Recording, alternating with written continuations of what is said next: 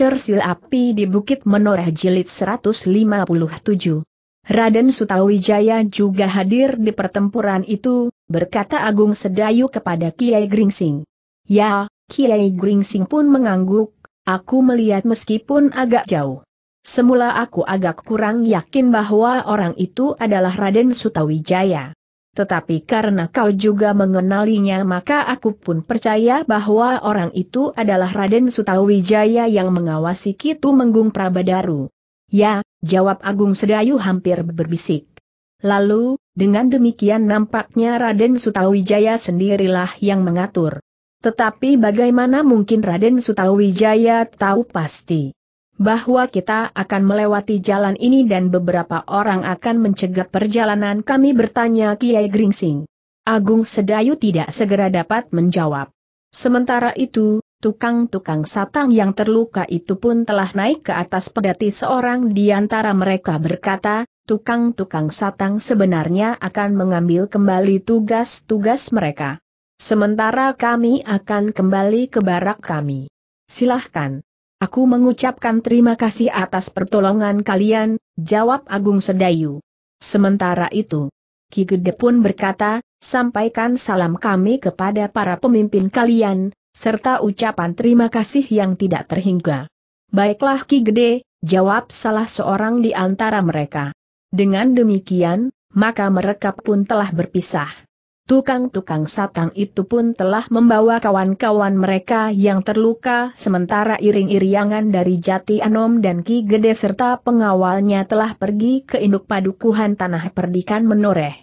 Di sepanjang jalan Ki Gede sempat bercerita tentang seorang utusan dari barak pasukan khusus yang memberitahukan bahwa iring-iringan dari Jati Anom telah terhenti di tepian kali Praga karena sepasukan orang yang tidak dikenal telah mencegat mereka. Ternyata bahwa pasukan khusus itu telah mengetahui lebih dahulu, berkata Ki Gede. Mereka tentu mengetahui bukan baru pagi ini, jawab Ki Was kita, ternyata sejak sehari sebelumnya mereka telah berusaha menyesuaikan diri dengan tugas tukang-tukang satang yang sebenarnya.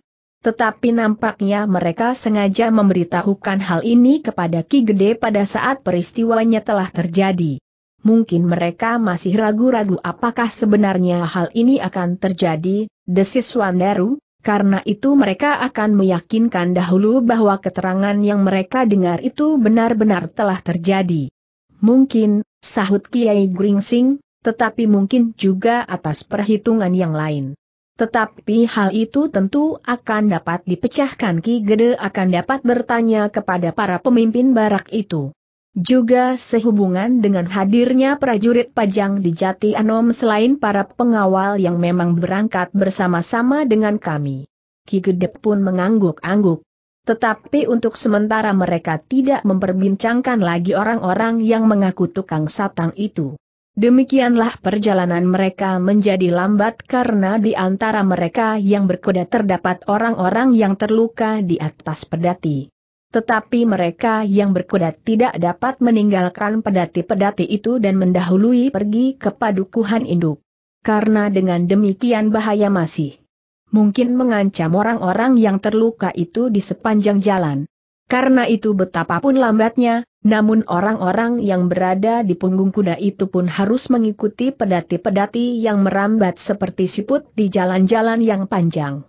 Namun akhirnya, Iring-iringan itu pun telah memasuki padukuhan induk.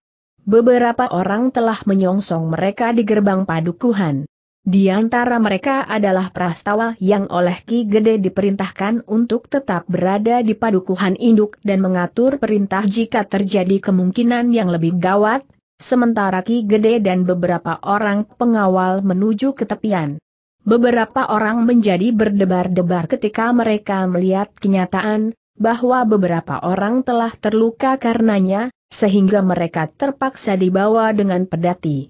Sementara itu, Prastawa pun menjadi berdebar-debar juga. Bukan oleh orang-orang yang terluka. Apalagi orang-orang yang terluka itu bukan orang-orang tanah perdikan menareh. Tetapi justru karena di dalam iring-iringan itu terdapat sekar mirah. Namun dalam pada itu, Prastawa pun harus melihat kenyataan bahwa kini Sekar Mirah bukan lagi seorang gadis yang bebas. Ia adalah seorang istri dari Agung Sedayu. Prastawa itu menarik nafas dalam-dalam. Rasa-rasanya memang tidak ada yang dapat dilakukan. Sekar Mirah adalah seorang istri dari Agung Sedayu yang mampu membunuh ajar Talpitu. Kenapa ia tidak mati saja di tepian, desis Prastawa di dalam hatinya. Tetapi adalah satu kenyataan. Agung Sedayu masih tetap hidup dan nampaknya tidak mengalami cedera sama sekali. Demikianlah maka iring-iringan itu pun kemudian memasuki rumah Ki Gede yang telah menjadi sibuk. Selain para pengawal yang bersiaga terdapat juga beberapa orang yang yang telah diperintahkan untuk menyiapkan minum dan makan bagi para pengawal yang bersiaga dan juga iring-iringan yang baru saja datang. Namun sementara itu orang-orang di rumah Ki Gede itu pun telah sibuk pula menyiapkan gandok untuk menempatkan mereka yang terluka. Apalagi yang terluka cukup parah. Dengan hati-hati maka orang-orang yang terluka itu pun telah diangkat dari pedati yang membawa mereka ke gandok yang sudah disediakan. Sementara Kiai Gringsing tidak henti-hentinya mengamati mereka seorang demi seorang terutama yang nampaknya mengalami kesulitan dengan luka-lukanya. Sementara itu pendapa rumah Ki Gede itu pun telah dipersiapkan. Mereka yang tidak mengalami sesuatu telah dipersilahkan untuk duduk di pendapa. Selain Ki Gede maka beberapa orang bau tanah perdikan menoreh pun telah menerima mereka pula. Demikiankah maka Ki Gede pun dengan resmi telah menyatakan ucapan selamat datang.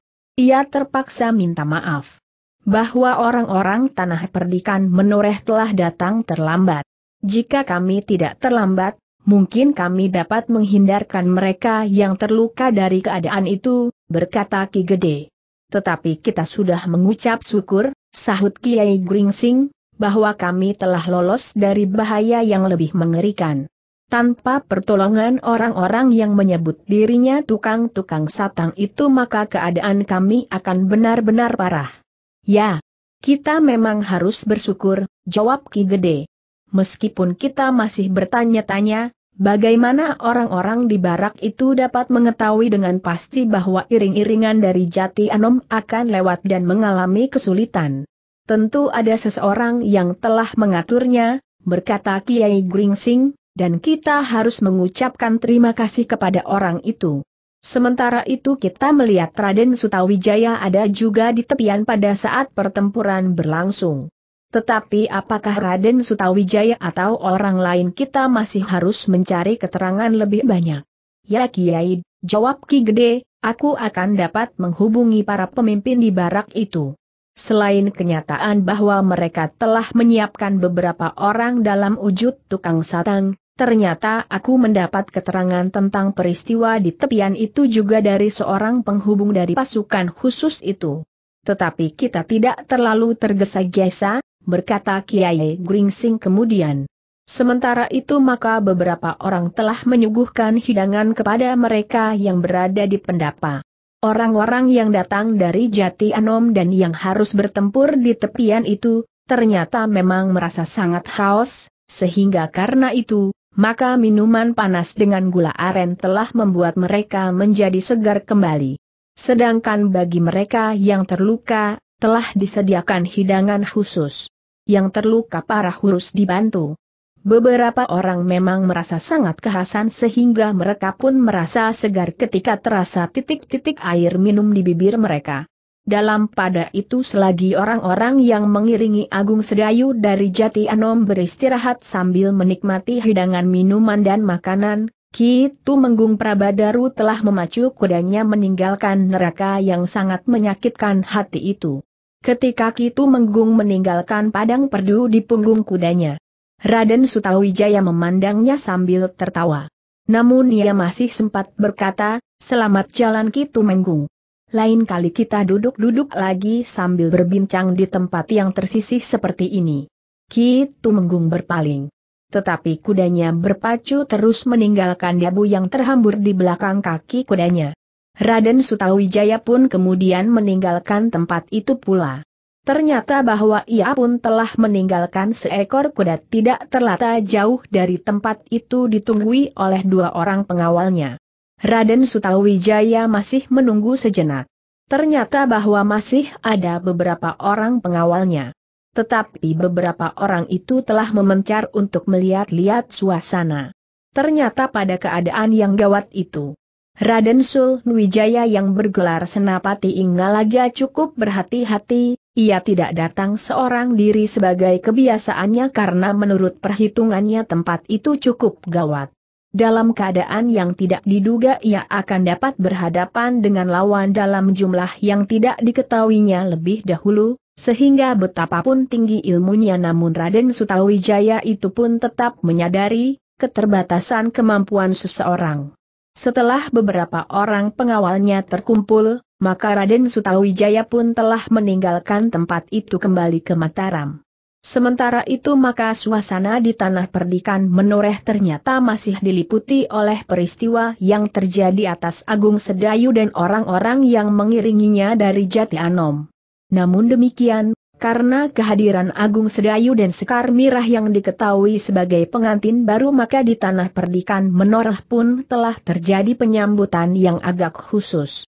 Di padukuhan induk, anak-anak muda yang mengenal Agung Sedayu sebagai bagian dari mereka, berusaha untuk dapat menemui bersama istrinya yang berada di rumah Ki Gede Menoreh.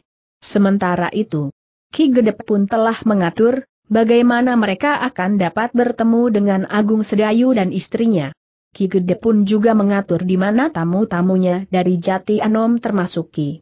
Demang Sangkal Putung akan menginap di samping Ki Gede harus menyediakan tempat khusus bagi mereka yang terluka dan beberapa orang tawanan. Karena itu maka padukuhan induk tanah perdikan menoreh itu menjadi sibuk. Sementara suasana pertempuran di tepian itu masih tetap mencengkam. Karena itu justru para pengawal tanah perdikan di setiap padukuhan telah bersiap-siap menghadapi kemungkinan-kemungkinan yang dapat terjadi. Para pemimpin pengawal menganggap bahwa pertempuran di tepian itu akan dapat berkembang. Karena ternyata bahwa orang-orang yang terlibat di pertempuran itu cukup banyak, maka tidak mustahil bahwa pertempuran itu aku merambat ke tanah perdikan menoreh jika mereka datang dengan pasukan segelar sepapan. Maka kita harus menyambut mereka, berkata para pemimpin pasukan pengawal tanah perdikan menoreh. Dalam pada itu ketika para tamunya sedang beristirahat, kecuali Kiai Gringying yang sibuk dengan orang-orang yang terluka dibantu oleh Kiwas kita, maka Ki Gede pun telah membuat hubungan dengan para pemimpin dari pasakan. Khusus Ki Gede ingin mendapat keterangan yang lebih terperinci tentang pertempuran yang terjadi di tepian. Karena beberapa orang dari pasukan khusus itu ternyata telah terlibat di pertempuran itu. Namun sementara itu ternyata bahwa beberapa orang prajurit berkuda dari Pajang mengikuti jalan-jalan memintas di sepanjang lereng Gunung Merapi. Ketika gelap telah menjadi pekat, menjelang tengah malam, maka mereka baru memasuki kademangan jati anom karena mereka sekali-sekali harus beristirahat. Bukan saja karena keadaan mereka sendiri tetapi kuda-kuda mereka memang memerlukan waktu untuk beristirahat, minum dan makan rerumputan selagi mereka berpacu di lambung selatan Gunung Merapi. Meskipun demikian, Untara yang dibangunkan dari tidurnya, memerlukan menerima mereka dan mendengarkan laporannya yang terjadi ternyata sesuai yang kita perhitungkan, berkata salah seorang prajurit itu kepada Untara. Jadi mereka benar-benar berada di tepian bertanya Untara. Ya. Dan orang-orang dari pasukan khusus itu telah menerima saranku, berkata prajurit itu kemudian. Jadi semuanya telah selamat, bertanya Untara pula. Ya. Semuanya selamat. Beberapa orang terluka tetapi agaknya Kiai Gringsing masih mempunyai kesempatan untuk mengobatinya. Kecuali mereka yang kembali ke dalam lingkungan pasukan khusus itu. Setelah mereka mengalami perawatan sementara dari Kiai Gringsing maka mereka akan segera kembali ke barak mereka dan akan menerima perawatan dari petugas di barak itu. Kita wajib mengucap syukur, desis Untara, ternyata bahwa perhitungan kita tidak salah. Karena jika kita salah langkah, maka akibatnya akan sangat parah bagi iring-iringan itu. Dalam pertempuran itu, telah hadir pula Raden Sutawijaya, lapor prajurit itu pula. Untara mengangguk-angguk. Katanya, tentu pasukan khusus itu telah melaporkan hal itu kepadanya, juga Tumenggung Prabadaru, prajurit itu meneruskan. Namun agaknya Untara telah menduga sehingga ia tidak terkejut karenanya. Namun ternyata bahwa ia menjadi heran, ketika prajurit itu melaporkan bahwa Raden Sutawijaya dan Kitu Menggung Prabadaru bersama-sama menonton pertempuran itu dari kejauhan. Jadi Kitu Menggung itu tidak berbuat apa-apa bertanya Untara. Kitu Menggung sendiri memang tidak berbuat apa-apa. Jawab prajurit itu. Untara mengangguk-angguk. Katanya, justru karena Raden Sutawijaya hadir juga di tempat itu. Mungkin sekali agaknya Raden Sutawijaya yang menemukan persembunyian Kitu Menggung itu selalu mengikutinya agar Kitu Menggung tidak melibatkan diri. Sebab seandainya seorang saja tetapi dalam tingkatan kemampuan ilmu Kitu Menggung melibatkan diri mungkin akhir dari pertempuran itu akan berbeda, lapor prajurit itu. Untara masih saja mengangguk-angguk. Lalu katanya, persoalannya menjadi semakin terbuka. Tetapi bagaimana dengan pasukan khusus di tanah perdikan itu? Secara keseluruhan, mereka masih kata selapis dengan orang-orang yang menurut perhitungan kita adalah prajurit pajang dalam pasukan khusus yang dipimpin oleh Kitu Menggung itu. Untara mengangguk-angguk. Meskipun ia tidak hadir di tepian Numu ia dapat membayangkan apa yang terjadi. Prajurit yang ditugaskannya itu kemudian memberikan laporan terperinci tentang pertempuran itu sendiri. Tetapi nampaknya perbedaan tingkat kemampuan itu tidak dalam tingkat yang membahayakan, desis Untara kemudian. Tidak. Menurut pengamatanku perbedaan itu hanya tipis sekali, dengan demikian, maka kemajuan dari pasukan yang dibentuk oleh Mataram itu cukup pesat. Karena kita tahu bahwa pasukan yang dihimpun di Pajang dan di bawah pimpinan Kitu Menggung Prabadaru itu adalah pada dasarnya sudah prajurit pilihan, sahut prajurit yang mendapat tugas mengamati pertempuran itu. Untara mengangguk-angguk pula, ia harus menanggapi peristiwa itu dengan satu sikap. Ia tidak dapat melepaskan kedudukannya sebagai seorang senapati Pajang tetapi ia pun tidak akan dapat berbuat apa saja tanpa pertimbangan yang matang.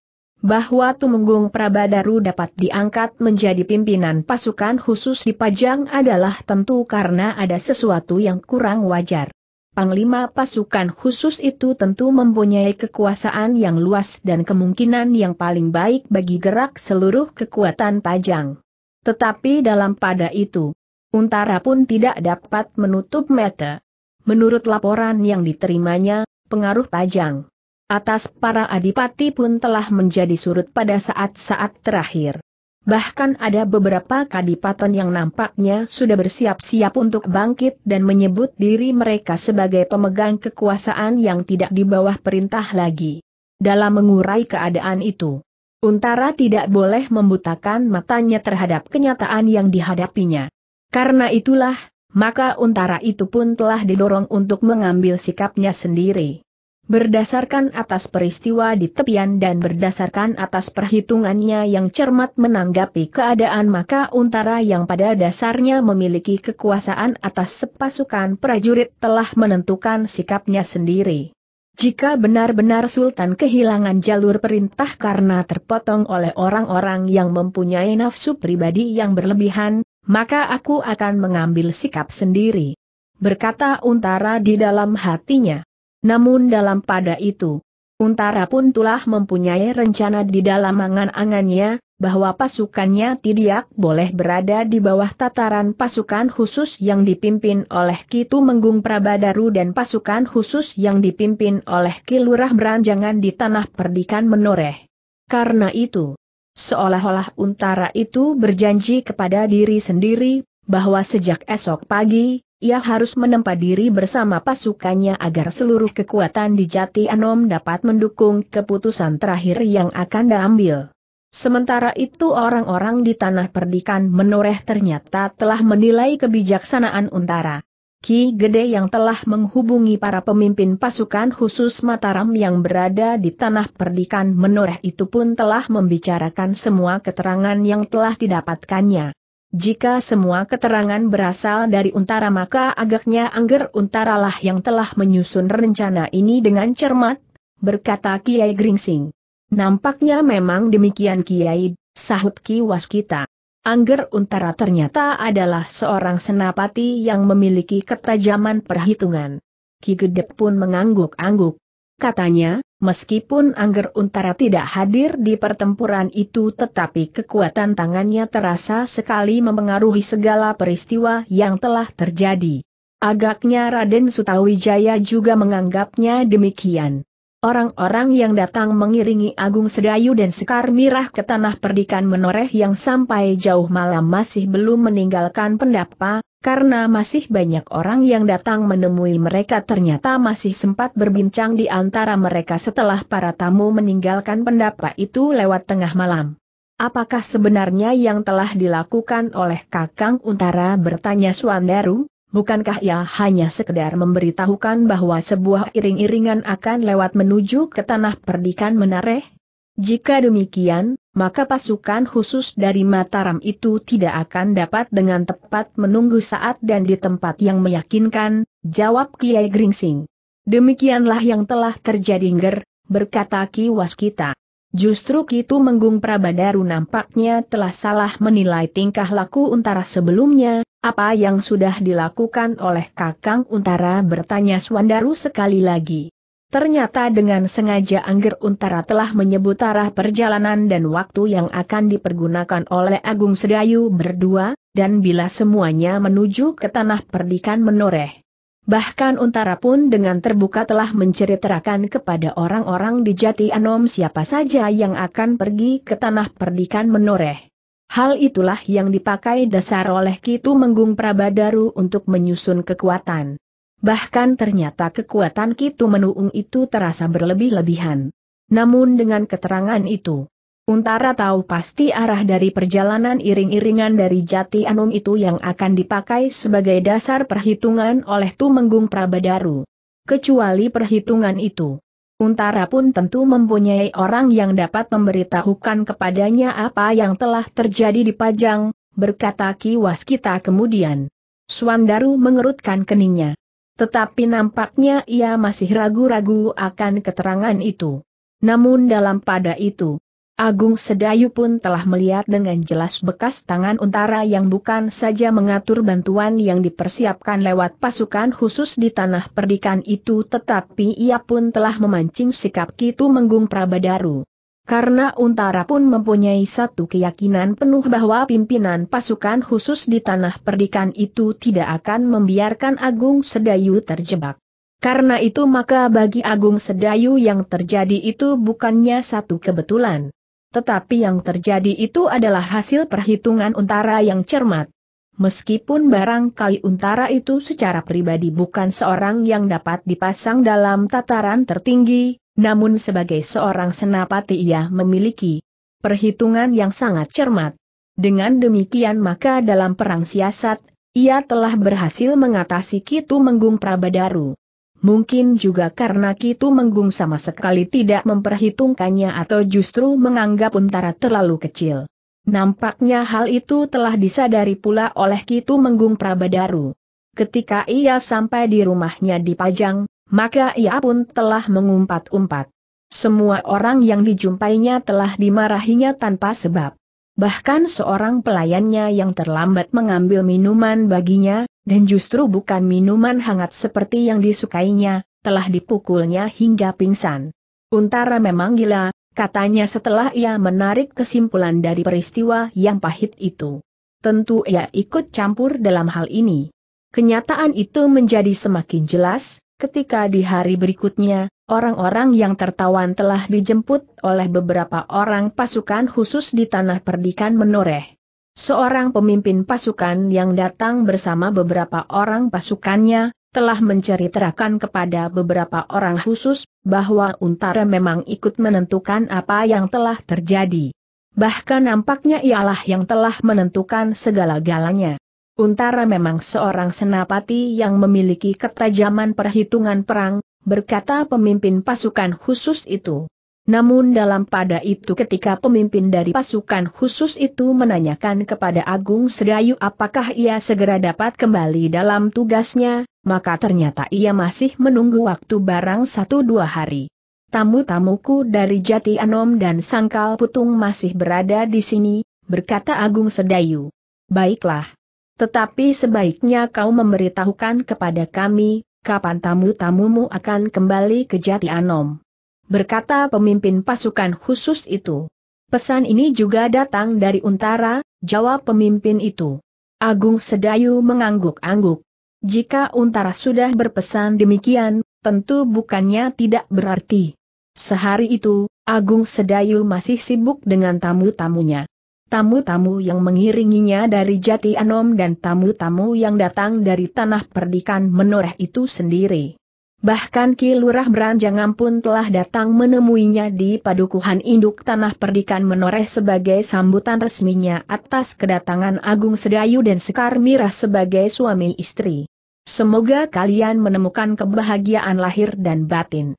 Berkata Ki Lurah Beranjangan. Teruna kasih Ki Lurah, jawab Agung Sedayu dan Sekar Mirah hampir berbareng. Dalam pada itu, peristiwa yang terjadi di tepian itu dengan tidak langsung telah merupakan benturan antara pasukan khusus dan Mataram dan pasukan khusus dan Pajang Raden Sutawijaya yang mengetahui hal itu sejak semula, ternyata memang tidak berkeberatan. Seperti untara maka ia ingin melihat tataran kemampuan kedua pasukan itu. Karena itulah maka ia hadir dalam pertempuran itu ia pun melihat bahwa orang-orang dari pasukan khusus Mataram secara keseluruhan masih kurang selapis meskipun tipis dari para prajurit dalam pasukan khusus di Pajang. Dengan demikian, maka Raden Sutawijaya itu masih merasa wajib untuk menempa orang-orangnya sehingga dalam keadaan yang gawat, orang-orangnya itu tidak akan mengecewakannya rasa-rasanya benturan kekerasan itu benar-benar akan terjadi, berkata Raden Sutawijaya di dalam hatinya, pada saat Tayahanda telah benar-benar kehilangan kuasanya karena ulah orang-orang di sekitarnya, maka aku harus mengambil sikap. Dengan sikap itu maka aku memerlukan dukungan kekuatan pasukan khusus itu. Penilaian itulah yang pada saat berikutnya akan diberitahukannya kepada para pemimpin pasukan khusus itu termasuk Agung Sedayu. Meskipun agaknya Agung Sedayu telah melihat sendiri. Tetapi secara resmi ia harus diberitahu bahwa tingkat kemampuan pasukan khusus ini harus diperbaiki, berkata Raden Sutawijaya itu pula. Karena kesimpulan yang demikian, maka Raden Sutawijaya pun telah mengerahkan para pemimpin pasukan khusus di tanah perdikan menoreh untuk bertemu dan berbicara tentang kemungkinan-kemungkinan yang dapat direncanakan. Termasuk Raden Sutawijaya sendiri. Namun Raden Sutawijaya pun tahu bahwa Agung Sedayu tentu masih memerlukan waktu untuk beristirahat satu dua hari lagi. Yane ternyata tidak menunggu siapa pun lagi adalah Untara sendiri. Sebenarnya lah sejak hari berikutnya dari peristiwa itu, ia telah mulai bertindak. Ia tetap memanggil para pemimpin yang dapat dipercayanya untuk menentukan sikap. Sejak saat ini pasukan Pajang di Jati Anom tidak akan mengalami pergantian orang, berkata Untara kepada para pemimpin pasukannya. Jika perintah semacam itu datang bertanya seorang pemimpin pasukannya. Akulah yang akan menolak, jawab Untara, jenang kepemimpinan di Pajang telah rusak. Karena itu, maka kita harus berani mengambil sikap dan mempertanggungjawabkan akibatnya. Tentu kalian tahu apa sebabnya aku berkata demikian. Kalian tahu siapa Kitu Menggung Prabadaru. Dan kalian pula tahu apa yang telah dilakukannya. Para pemimpin prajurit Pajang di Jati Anum itu mengangguk-angguk. Karena itu bukan salah kita di sini jika kita mengambil sikap sendiri, berkata Untara kemudian. Lalu, aku pun yakin, bahwa kalian cukup dewasa menanggap perkembangan keadaan sekarang ini. Demikianlah ketika Agung Sedayu di Tanah Perdikan masih disibukkan dengan tamu-tamu yang berdatangan untuk mengucapkan selamat atas perkawinannya dengan Sekar Mirah, dan sekaligus karena ia berdua dan iring-iringannya telah terlepas dari bencana yang menunggunya di tepian kali Praga, maka Untara telah mulai dengan rencananya. Ia telah mengatur pasukannya dalam giliran yang berurutan.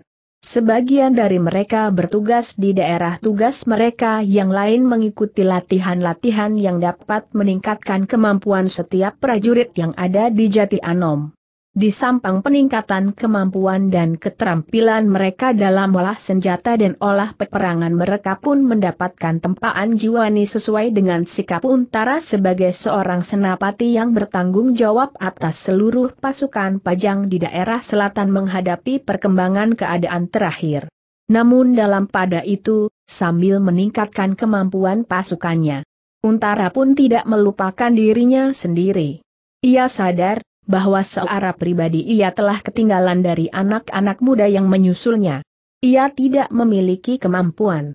Sebagaimana dimiliki oleh Agung Sedayu. Bahkan agaknya Swandaru pun telah dapat melampauinya dalam kemampuan ilmu kanuragan. Sehingga dengan demikian maka kesadarannya akan kekurangan pada dirinya itu telah mendorong Untara untuk dengan sekuat tenaganya membajakan dirinya sendiri. Dengan demikian untara itu pun telah menjadi sangat sibuk. Waktunya telah dihabiskannya dalam olah kanuragan. Kecuali membimbing prajurit-prajuritnya ia pun harus berlatih bagi peningkatan ilmunya sendiri. Sementara itu maka para pengiring Agung Sedayu dan istrinya yang berada di tanah perdikan menoreh, merasa telah cukup lama meninggalkan tugas masing-masing. Terutama Ki Demang Sangkal Putung. Apalagi karena Suandaru dan Pandanwangi telah pergi bersamanya, sehingga seolah-olah kademangan sangkal putung telah menjadi kosong. Karena itu maka mereka pun tetap merencanakan untuk kembali ke sangkal putung. Para pemimpin di barak pasukan khusus telah minta, jika waktunya telah pasti, kapan kita akan kembali, agar kita memberitahukannya, berkata Suandaru. Apa salahnya, berkata Kiai Gringsing, Hal itu tentu terdorong oleh sikap berhati-hati. Baiklah, berkata Ki Demang, malam nanti kita akan berbicara, kapan kita akan kembali. Kemudian kita akan memberitahukannya kepada Ki Lurah Beranjangan. Sebenarnya lah malam berikutnya, pendapa rumah Ki Gede di Tanah Perdikan menoreh masih dikunjungi oleh beberapa orang. Mereka masih menyatakan selamat kepada Agung Sedayu berdua dan kepada seluruh pengiringnya. Namun setelah mereka meninggalkan pendapa rumah Ki Gede maka para pengiring Agung Sedayu itu pun mulai membicarakan diri mereka sendiri. Baiklah, berkata Ki Gede, jika kalian ingin segera meninggalkan tanah perdikan ini maka biarlah kalian melihat dan sekaligus merestui penggunaan rumah yang telah kami sediakan bagi keluarga baru ini. Besok kita adakan upacara kecil di rumah yang memang hanya kecil itu agar bagi keluarga baru itu tidak terlalu letih mengurusinya. Jika rumah itu terlalu besar dan halamannya terlalu luas maka setiap hari waktu Angger Agung Sedayu dan Sekar Mirah akan dihabiskan untuk menyapu lantai dan halaman. Yang mendengar keterangan Ki Gede itu tersenyum, Ki Demang Sangkal Putung pun kemudian menyahut, menarik sekali. Tetapi memang seharusnya mereka belajar mengurus diri mereka sendiri. Malam itu mereka telah menyusul acara bagi hari-hari yang semakin pendek. Malam berikutnya mereka akan mengadakan sekedar upacara memasuki rumah baru. Baru di keesokan harinya, mereka akan meninggalkan tanah perdikan menoreh. Sementara itu di hari berikutnya, sebelum mereka sampai saatnya melakukan upacara memasuki rumah baru maka para tamu dari Jati Anom dan Sankal Putung itu masih sempat melihat-lihat keadaan tanah perdikan menoreh.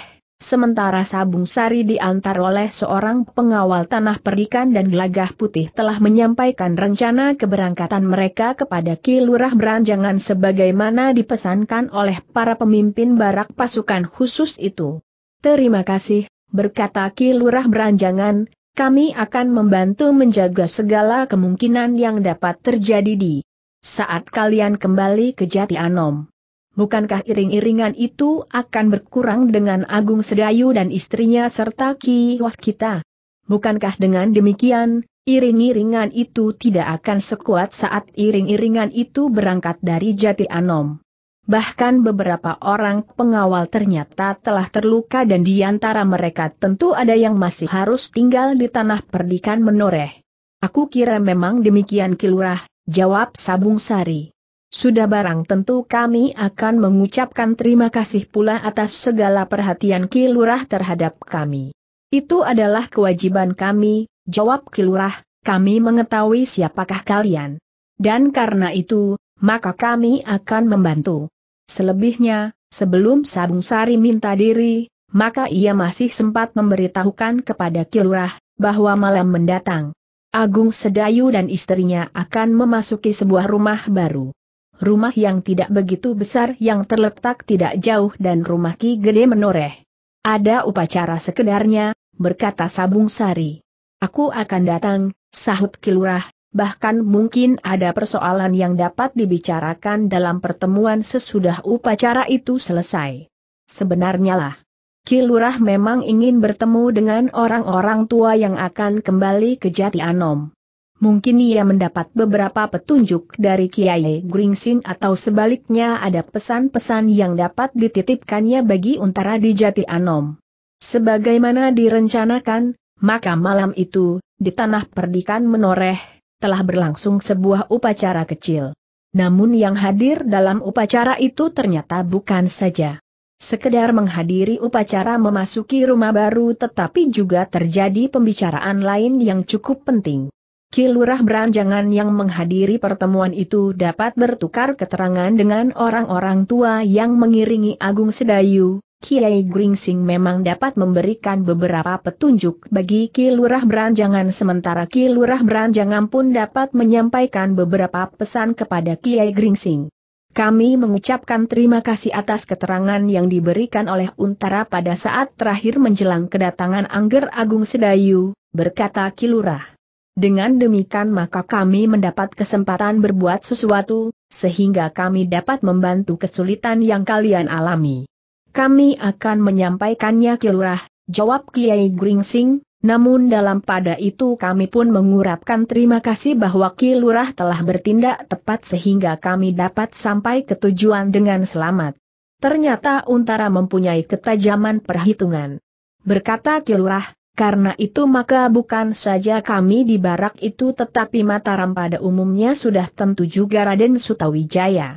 Selebihnya kami dapat mengetahui tingkat kemampuan anak-anak kami yang menurut laporan ternyata masih berselisih satu lapis tipis dengan para prajurit pajang dari pasukan khusus. Namun hal itu adalah wajar sekali yang berada di dalam pasukan khusus itu adalah prajurit-prajurit. Sementara yang berada di pasukan khusus di tanah perdikan ini adalah anak-anak muda dan para pengawal dari padukuhan-padukuhan.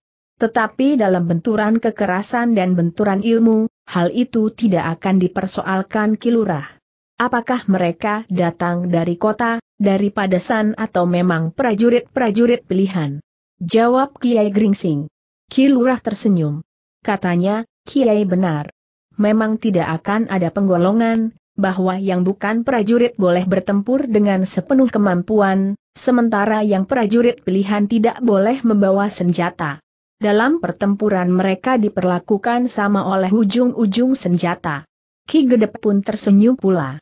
Katanya, tetapi ada juga keuntungan kita jika kita sudah mengetahui bahwa kemampuan kita masih perlu ditingkatkan.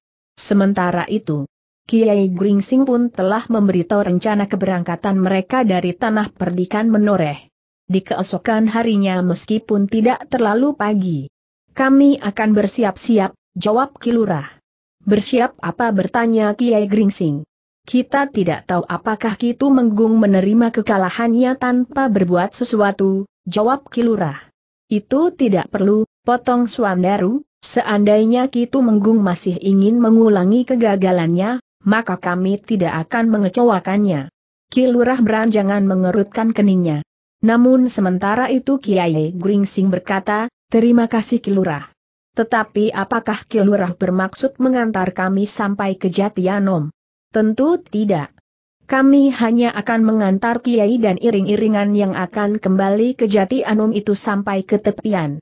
Jawab Kilurah. Terima kasih Kilurah, Ki Gedlah yang menyahut, aku akan mencoba bertanggung jawab atas tamu kami.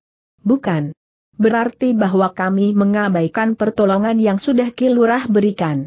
Tetapi dalam keadaan bersiaga, kami akan mencoba untuk terbuat sebaik-baiknya.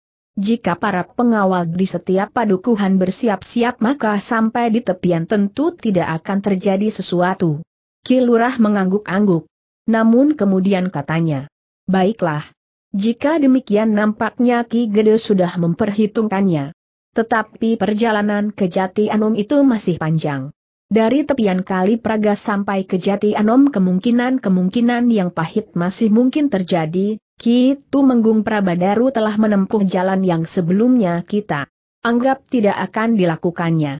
Kita akan berhati-hati, Suandarulah yang menyaut. Kilurah beranjangan menarik nafas dalam-dalam ia pun mengenal Suandaru. Namun demikian, Kilurah tidak dapat berdiam diri.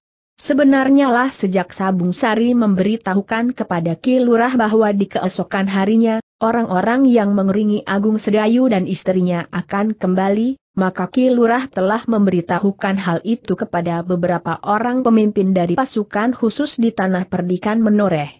Namun nampaknya pasukan itu tidak perlu bergerak karena Ki Gede sudah bersiap-siap pula. Ki Lurah pun mengetahui, bahwa apabila setiap padukuhan di sepanjang jalan yang akan dilaluinya sampai ke tepian kali Praga itu bersiap-siap seluruhnya, maka tentu tidak akan terjadi sesuatu. Tetapi khususnya di tanah perdikan menoreh. Sementara jika Kitu Menggung masih dendam dan akan mengerahkan pasukan yang lebih banyak ia tentu tidak akan bertindak di sebelah barat kali Praga. Namun dalam pada itu nampaknya dalam kesempatan itu. Kilurah pun telah memberikan beberapa keterangan tentang anak-anak sangkal putung yang berada di barak pasukan. Khusus itu. Sementara Suandaru pun dapat menanyakan beberapa hal yang ingin diketahuinya. Syukurlah jika mereka berbuat sebaik-baiknya, berkata Suandaru. Mereka memiliki dasar yang cukup baik, jawab Kilurah, karena itu mereka pun tumbuh sebagaimana kita kehendaki. Tetapi tidak seorang pun yang aku lihat di tepian pada saat itu, berkata Suandaru. Kami memilih anak-anak muda yang sudah mengenal tabiat kali praga. Di antaranya anak-anak tanah perdikan menoreh sendiri dan yang lain anak-anak dari Mangir, jawab Ki Lurah beranjangan, dengan demikian mereka benar-benar dapat berbuat sebagaimana dilakukan oleh tukang-tukang satang. Suandaru mengangguk-angguk. Namun dengan demikian ia mengerti bahwa ketidakhadiran anak-anak sangkal putung bukan karena mereka tidak memiliki bekal sebagaimana anak-anak muda dari tempat yang lain. Malam itu, Kilurah masih sempat berbincang agak panjang sehingga jauh lewat tengah malam, ia baru minta diri. Sepeninggal Kilurah beranjangan, Kiai Gringsing, Ki Widura dan Ki Demang Sangkal Putung yang esok hari akan meninggalkan tanah perdikan menoreh masih sempat memberikan beberapa pesan kepada Agung Sedayu dan Sekar Mirah. Keduanya adalah orang-orang baru dalam hidup beberayan. Sehingga mereka masih harus banyak belajar dari keadaan di sekitarnya. Lelakon tentang kalian berdua belum berakhir sebagaimana terdapat dalam banyak cerita-cerita. Berkata Kiai Gringsing, pada umumnya cerita-cerita itu. Dia akhiri dengan perkawinan. Seolah-olah setelah hari-hari perkawinan itu semuanya akan berjalan rancak dengan sendirinya. Namun lelakon kalian sebagai dua orang yang hidup dalam beberayan barulah dimulai. Segalanya sebagian besar tergantung kepada kalian berdua. Meskipun bukan berarti bahwa kalian harus tanggap akan keadaan di sekeliling kalian, sebab keadaan di sekeliling kalian pun akan dapat memberikan pengaruh pada kehidupan kalian. Pengaruh baik atau pengaruh buruk. Agung Sedayu dan Sekar Mirah mendengarkan pesan itu dengan saksama. Sementara itu Ki Demang pun kemudian berkata kepada Ki Gede, aku titipkan anak dan menantuku kepada Ki Gede. Ki Gede tersenyum sambil mengangguk-angguk. Katanya, aku telah menitipkan satu-satunya anakku kepada Ki Demang. Karena itu maka aku akan menganggap anak dan menantu Ki Demang itu sebagai anak-anakku sendiri. Terima kasih Ki Gede jika mereka melakukan kesalahan, Aku harap Ki Gede memberi mereka peringatan. Jika nakal Ki Gede hendaknya menarik kupingnya, atau mencubit lengannya, berkata Ki Demang pula. Ki Gede tertawa. Jawabnya, baiklah Ki Demang. Aku akan berbuat demikian. Tetapi agaknya Agung Sedayut tidak akan pernah merasa sakit meskipun dicubit dengan keping besi sekalipun. Yang mendengarkan kata-kata Ki Gede itu tertawa. Tetapi Agung Sedayu sendiri hanya menundukkan kepalanya saja. Sementara itu, Suandaru masih sempat minta kepada Agung Sedayu di keesokan harinya, sebelum mereka kembali ke Sangkal Putung dan Jati Anom pergi barang sejenak ke barak pasukan khusus yang disusun oleh Mataram Sekedar. Untuk bertemu dengan anak-anak Sangkal Putung yang ada di barak itu.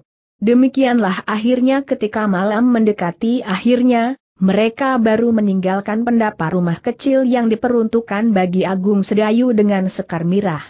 Namun meskipun rumah itu tidak besar, namun cukup lengkap dan memiliki halaman pula. Ki Gede malam itu tidak kembali ke rumahnya. Tetapi ia tidur di rumah Agung Sedayu bersama-sama dengan beberapa orang digandok di atas sebuah amben yang besar. Sementara yang lain tidur di pendapa di atas tikar pandan yang putih. Bahkan masih ada juga beberapa orang muda yang tidur pula di rumah itu. Ternyata mereka masih sempat tidur barang sejenak. Tetapi sebelum matahari terbit mereka telah bangun. Demikian para pengawal yang tidak mengalami cedera serta mereka yang terluka ringan telah bersiap-siap untuk mengawal mereka yang akan kembali ke Jati Anom dan Sangkal Putung sedangkan mereka yang terluka berat untuk sementara masih harus tetap tinggal di tanah perdikan menoreh. Namun bagi mereka Kiai Gringsing telah menyiapkan obat-obatan yang akan dapat menyembuhkan mereka meskipun di antara mereka ada yang memerlukan waktu yang agak lama. Dalam pada itu, Swandaru diantar oleh Agung Sedayu telah memerlukan pergi ke barak pasukan khusus yang disusun oleh Mataram. Sabung Sari dan Gelagah Putih telah ikut pula bersama mereka. Kehadiran Suandaru disambut oleh anak-anak muda Sangkal Putung yang berada di dalam lingkungan pasukan khusus itu dengan gembira. Mereka merasa bahwa Suandaru yang pernah membina mereka pada tataran pertama telah memerlukan menengok keadaan mereka. Kilurah memberikan kesempatan beberapa lama kepada Suandaru untuk berbicara langsung dengan anak-anak muda Sangkal Putung itu. Sebagaimana dikatakan oleh Kilurah, bahwa keadaan mereka memang baik. Mereka merasa kerasan berada di barak itu. Bukan saja karena mereka mendapat pelayanan yang baik dan kesempatan untuk menempa diri, tetapi setelah mereka berada di barak itu, beberapa lama mereka pun menjadi semakin meyakini langkah mereka. Jika semula mereka dikirim oleh pimpinan mereka masing-masing untuk mengikuti latihan-latihan dan penempaan di tanah perdikan menoreh, maka kemudian mereka telah memahami apa yang mereka lakukan itu. Swandaru tidak mempunyai banyak waktu. Karena itu, maka ia pun kemudian minta diri kepada anak-anak muda sangkal putung itu dan sekaligus kepada kilurah beranjangan. Kami akan kembali ke sangkal putung, berkata Suandaru. Ya, kami mengucapkan selamat jalan. Mudah-mudahan di perjalanan kembali kalian tidak mengalami kesulitan apa pun juga, sahut Kilurah beranjangan. Terima kasih. Pada saat lain kami ingin berada di barak ini lebih lama lagi, berkata Suandaru kemudian. Sejenak kemudian Suandaru sudah meninggalkan tempat itu. Demikian pula Sabung Sari dan Gelagah Putih disertai Agung Sedayu. Kilurah yang mengantar mereka sampai kergol memandang iring-iringan itu sampai hilang di tikungan. Sambil menarik nafas dalam-dalam ia berkata di dalam hati. Suandaru mempunyai sikap seorang pemimpin yang baik. Tetapi gejolak perasaannya kadang-kadang menguasai dirinya. Tanpa dapat dikendalikan oleh nalarnya. Sedangkan saudara seperguruannya, Agung Sedayu, justru kadang-kadang dihambat oleh perasaannya. Demikianlah, maka setelah semuanya siap, Kiai Gringsing, Ki Widura dan Ki Demang Sangkal Putung pun segera minta diri. Ki Waskita ternyata tetap tinggal di tanah perdikan bersama Agung Sedayu dan Sekar Mirah. Namun Pandan Wangi tetap ikut pula bersama suaminya kembali ke Sangkal Putung. Dalam satu kesempatan gelagah putih sempat berbisik di telinga ayahnya, apakah pada suatu saat aku diperkenankan ikut bersama Kakang Agung Sedayu di tanah perdikan menoreh ini? Ki Widura termangu-mangu sejenak. Namun kemudian ia pun menjawab, tentu kau diperbolehkan tinggal di sini. Tetapi tidak dalam waktu dekat. Mungkin setelah kakangmu Agung Sedayu mapan tinggal di rumahnya yang baru itu. Atau mungkin jika tugas-tugasnya di barak itu sudah berkurang. Gelagah putih mengangguk-angguk. Sebenarnya ia ingin segera tinggal bersama Agung Sedayu ia merasakan meskipun ia tidak tahu dengan pasti bahwa ilmu Agung Sedayu seolah-olah berkembang tidak terbatas. Jika ia dekat dengan kakak sepupunya itu maka ia pun tentu akan dapat menyadap ilmu itu sejauh dapat dilakukan. Tetapi gelagah putih pun mengetahui, bahwa Agung Sedayu sedang dalam saat-saat menyusun dan meniti rumah tangganya yang baru sehingga karena itu maka ia pun tidak akan menambah beban kakak sepupunya itu. Dalam pada itu maka kemudian datang saatnya para pengiring Agung Sedayu dan Sekar Mirah dari Jati Anom dan Sangkal Putung itu pun meninggalkan rumah Agung Sedayu. Bagaimanapun juga terasa jantung Sekar Mirah menjadi Berdebaran ia harus tinggal di tempat yang meskipun tidak sangat jauh tetapi tidak di dalam lingkungan yang dikenalnya sejak ia kanak-kanak. Namun bagaimanapun juga hal seperti itu harus dialaminya. Seperti juga Pandan Wangi yang meskipun satu-satunya anak Ki Gede menoreh, tetapi ia pun meninggalkan tanah perdikan menoreh dan tinggal di Sangkal Putung bersama suaminya. Dalam pada itu, Ki Gede Menoreh pun telah mengantar tamu-tamunya itu sampai keluar gol halaman rumah Agung Sedayu dan kemudian menyusuri jalan-jalan padukuhan hilang di tikungan. Nampak betapa matu sekar mirah menjadi basah. Karena itu maka Ki Gede pun berkata, jarak antara Jati Anom, Sangkal Putung dan Tanah Perdikan ini tidak terlalu jauh. Sekar Mirah menarik nafas dalam-dalam. Sambil mengusap matanya ia berkata, Yaki gede. Setiap saat perasaan rindu tidak tertahankan, kalian dapat pergi ke sangkal putung. Tetapi jika keadaan sudah menjadi baik, tidak lagi seperti sekarang ini yang nampaknya masih dibayangi oleh kemungkinan-kemungkinan yang tidak diperhitungkan sebelumnya, berkata Ki Gede. Sekar Mirah mengangguk-angguk kecil. Namun ia tidak menjawab lagi. Namun dalam pada itu Ki Gedek pun segera minta diri pula meninggalkan rumah kecil itu setelah ia memberikan beberapa pesan kepada Agung Sedayu dan Sekar Mirah tentang kehidupan mereka masa datang selama mereka berada di tanah perdikan menoreh. Kami menganggap bahwa kalian adalah warga kami. Berkata Ki Gede, mereka yang bekerja untuk kepentingan tanah perdikan ini mendapat imbalan kedudukan dan tanah pelunggu. Karena itu, maka bagi Angger Agung Sedayu pun telah disediakan tanah pelunggu. Jika sebelum kau kawin, kau dapat hidup bersama kami tentu tidak akan demikian halnya setelah kau menyusun satu rumah tangga. Dengan demikian, maka sebenarnya lah Agung Sedayu kemudian telah benar-benar hidup dan berdiri sendiri dengan tanah pelunggu yang diberikan oleh Ki Gede Menoreh. Tanah yang disediakan itu terlalu luas, berkata Agung Sedayu. Tidak terlalu luas, sahut Sekar Mirah, kebutuhan kita pun tentu akan menjadi semakin banyak. Untunglah bahwa kita tidak perlu membuat rumah sendiri dan membeli perabotnya. Kita sudah mendapat rumah meskipun aku sadar, bahwa rumah ini tentu sekedar dapat kita tempati selama kau masih diperlukan di sini. Demikian pula tanah pelungguh itu. Agung Sedayu menarik nafas dalam-dalam. Namun ia tidak membantah lagi ia sadar, bahwa kemudian ia akan berhadapan dengan kerja yang lebih berat. Tetapi sawah dan ladang yang diberikan sebagai tanah petungguh itu akan dapat diserahkan kepada beberapa orang untuk menggarapkan dengan pembagian hasil yang memadai. Sebelum tanah pelungguh itu menghasilkan, Agung Sedayu dan Sekar Merah masih akan menjadi tanggungan Ki Gede. Tetapi jika panenan yang pertama telah dipetik, maka Agung Sedayu akan dilepaskannya untuk hidup sendiri sebagai satu keluarga yang telah masak. Sementara itu ternyata Ki Waskita masih memilih untuk tinggal di rumah Ki Gede selama ia berada di tanah perdikan. menoreh ia tidak mau mengganggu Agung Sedayu dan Sekar Mirah yang baru berusaha menyusun tata kehidupan baru. Dalam pada itu mereka yang meninggalkan tanah perdikan menoreh telah menyusuri jalan bulak menuju ke tempat penyeberangan.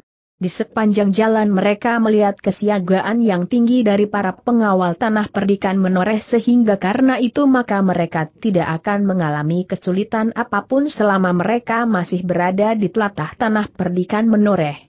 Beberapa lama mereka menempuh perjalanan. Akhirnya mereka mendekati tepian penyeberangan. Kiai Gringsing tertegun ketika ia melihat sekelompok kecil orang-orang berkuda menunggu mereka di tepian. Ternyata mereka adalah Kilurah Beranjangan dan beberapa orang pengawalnya. Kami akan mengucapkan selamat jalan, berkata Kilurah. Terima kasih Kilurah, jawab Kiai Gringsing. Sementara itu orang-orang di dalam iring-iringan itu pun seorang demi seorang telah minta diri.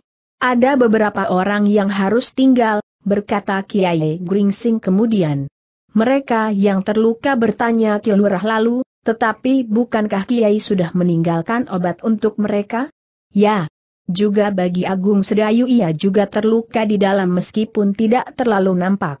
Tetapi keadaannya sudah menjadi baik, jawab Kilurah beranjangan.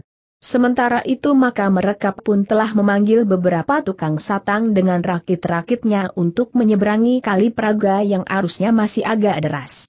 Tetapi tukang-tukang satang itu adalah tukang-tukang satang yang sebenarnya. Mereka bukan lagi anak-anak dari pasukan khusus yang ditugaskan untuk membantu kesulitan yang akan dialami oleh iring-iringan yang akan menyeberangi kali Praga. Seandainya tukang-tukang satang itu melihat peristiwa seperti yang telah terjadi di tepian itu mereka tidak akan dapat berbuat apa-apa. Sejenak kemudian, maka iring-iringan itu pun telah menyeberangi kali Praga di atas beberapa buah rakit. Mereka masih sempat melambaikan tangan mereka kepada Ki Lurah Beranjangan yang juga melambaikan tangannya sambil berdiri di atas pasir tepian. Demikianlah, iring-iringan itu pun kemudian meninggalkan tepian kali Praga memasuki sebuah lorong yang menuju ke jalan yang lebih besar yang akan mereka ikuti menuju ke Jati Anom. Demikianlah maka iring-iringan itu pun kemudian telah berpacu meskipun tidak terlalu kencang. Beberapa orang yang berada di bulak menyaksikan beberapa ekor kuda yang menghamburkan debu yang kelabu. Sementara itu, Kiai Gringsing dan orang-orang di dalam iring-iringannya mengerutkan keningnya ketika mereka melihat empat orang berkuda yang melintas berpapasan dengan mereka. Pasukan pengawal Mataram, berkata Kiai Gringsing kepada Ki Widura. Apa yang mereka lakukan? bertanya Swandaru. Mereka sedang nganglang. Mereka mengamati keadaan justru karena peristiwa yang kita alami di tepian agaknya. Mataram telah meningkatkan kegiatan para pengawalnya, jawab Kiai Gringsing. Swandaru tidak menjawab lagi. Namun dengan demikian rasa-rasanya perjalanan mereka selalu mendapat pengawasan dari para pengawal dari Mataram. Ketika mereka sampai ke sebuah tikungan di bawah sebatang pohon munggur yang besar, mereka melihat pula empat orang pengawal Mataram berjaga-jaga di sebuah gardu. Empat ekor kuda mereka tertambat pada pohon perdu di sebelah gardu itu. Apakah mereka justru memang mengawasi kita? Bertanya Swandaru kepada Kiai Gringsing. Tentu tidak, jawab Kiai Gringsing, mungkin mereka mendapat tugas untuk mengamati perkembangan keadaan. Tetapi tidak mustahil bahwa mereka memang mengawasi perjalanan kita. Bukan karena mereka mencurigai kita, tetapi jika kita mengalami sesuatu yang tidak kita inginkan, mereka akan dapat melontarkan isyarat. Agaknya ada di antara mereka yang membawa busur dan panah sendaren. Swandaru mengangguk-angguk. Tetapi ia bergumam. Sebenarnya mereka tidak perlu merasa demikian belas kasihan kepada kita. Kita dapat menjaga diri kita sendiri. Bukan maksudnya, sahut Ki Demang, mereka tentu mempunyai pertimbangan yang baik. Kemungkinan-kemungkinan masih akan dapat terjadi atas kita sebagaimana terjadi di tepian itu. Jika kawan-kawan mereka yang gagal di tepian itu mengambil pembalasan dengan perhitungan kekuatan yang lebih besar, maka kita tidak usah malu mengakui bahwa kita akan mengalami kesulitan. Suandaru memandang ayahnya sejenak. Namun kemudian ia menarik nafas dalam-dalam. Tetapi ia sama sekali tidak menjawab kata-kata ayahnya itu. Sementara itu Pandan Wangi sebenarnya tidak mengerti sikap Suandaru. Seharusnya iring-iringan itu harus mengucapkan terima kasih kepada para pengawal yang berjaga-jaga di beberapa tempat itu. Tetapi agaknya Suandaru mempunyai sikap yang lain. Demikianlah iring-iringan itu berpacu menyusuri jalan-jalan padukuhan dan bulak-bulak. Mereka memang tidak melalui kota Mataram yang berkembang semakin besar, karena mereka memang tidak ingin singgah tetapi mereka menempuh ialan sebagaimana yang mereka lalui ketika mereka berangkat mengantarkan Agung Sedayu ke tanah perdikan menoreh. Namun dalam pada itu, iring-iringan itu pun ternyata tidak mengalami hambatan sesuatu di sepanjang perjalanan mereka menjelang mereka memasuki kademangan Prambanan. Sebentar lagi mereka akan sampai ke kali opak yang tidak terlalu deras sebagaimana kali Praga meskipun pada saat-saat lain kali opak pun merupakan sungai yang garang. Tetapi ternyata bahwa iring-iringan itu dapat menyeberangi kali opak tidak usah dengan mempergunakan rakit. Di seberang kali opak iring-iringan itu berhenti sejenak mereka memberi kesempatan kuda-kuda mereka beristirahat lebih dari kesempatan yang pernah mereka berikan pada saat-saat sebelumnya di perjalanan yang mereka berikan pada saat-saat sebelumnya di perjalanan itu. Sementara itu para penunggangnya pun sempat pula beristirahat duduk-duduk di atas bongkah-bongkah batu yang besar di kali opak itu. Namun demikian, beberapa orang pengawal dari Sangkal Putung dan prajurit Pajang di Mataram serta beberapa orang cantrik tidak pernah lengah sama sekali. Mereka sadar bahwa kekuatan mereka telah jauh susut dibandingkan dengan saat mereka berangkat. Kecuali di dalam iring-iringan itu tidak lagi ada Agung Sedayu. Sekar Mirah dan Kiwai kita beberapa orang kawan mereka pun terpaksa tinggal di tanah perdikan karena luka-luka mereka. Tetapi seperti perjalanan yang sudah mereka lewatkan. Sejak mereka berangkat dari tanah perdikan menoreh, maka mereka tidak mengalami peristiwa apa pun juga. Dalam pada itu mereka pun melanjutkan perjalanan mereka ketika kuda-kuda mereka telah cukup minum dan makan rerumputan segar di pinggir kali opak. Dengan tenaga baru maka kuda-kuda mereka pun beruacu.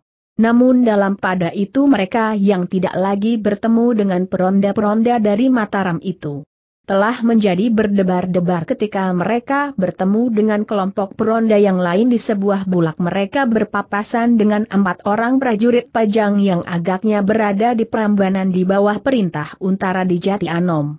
Mereka juga bersiaga sepenuhnya, berkata Kiai Gringsing, di antara mereka ada juga yang membawa busur dan anak panah sendaren. Ki Demang Sangkal Putung mengangguk-angguk.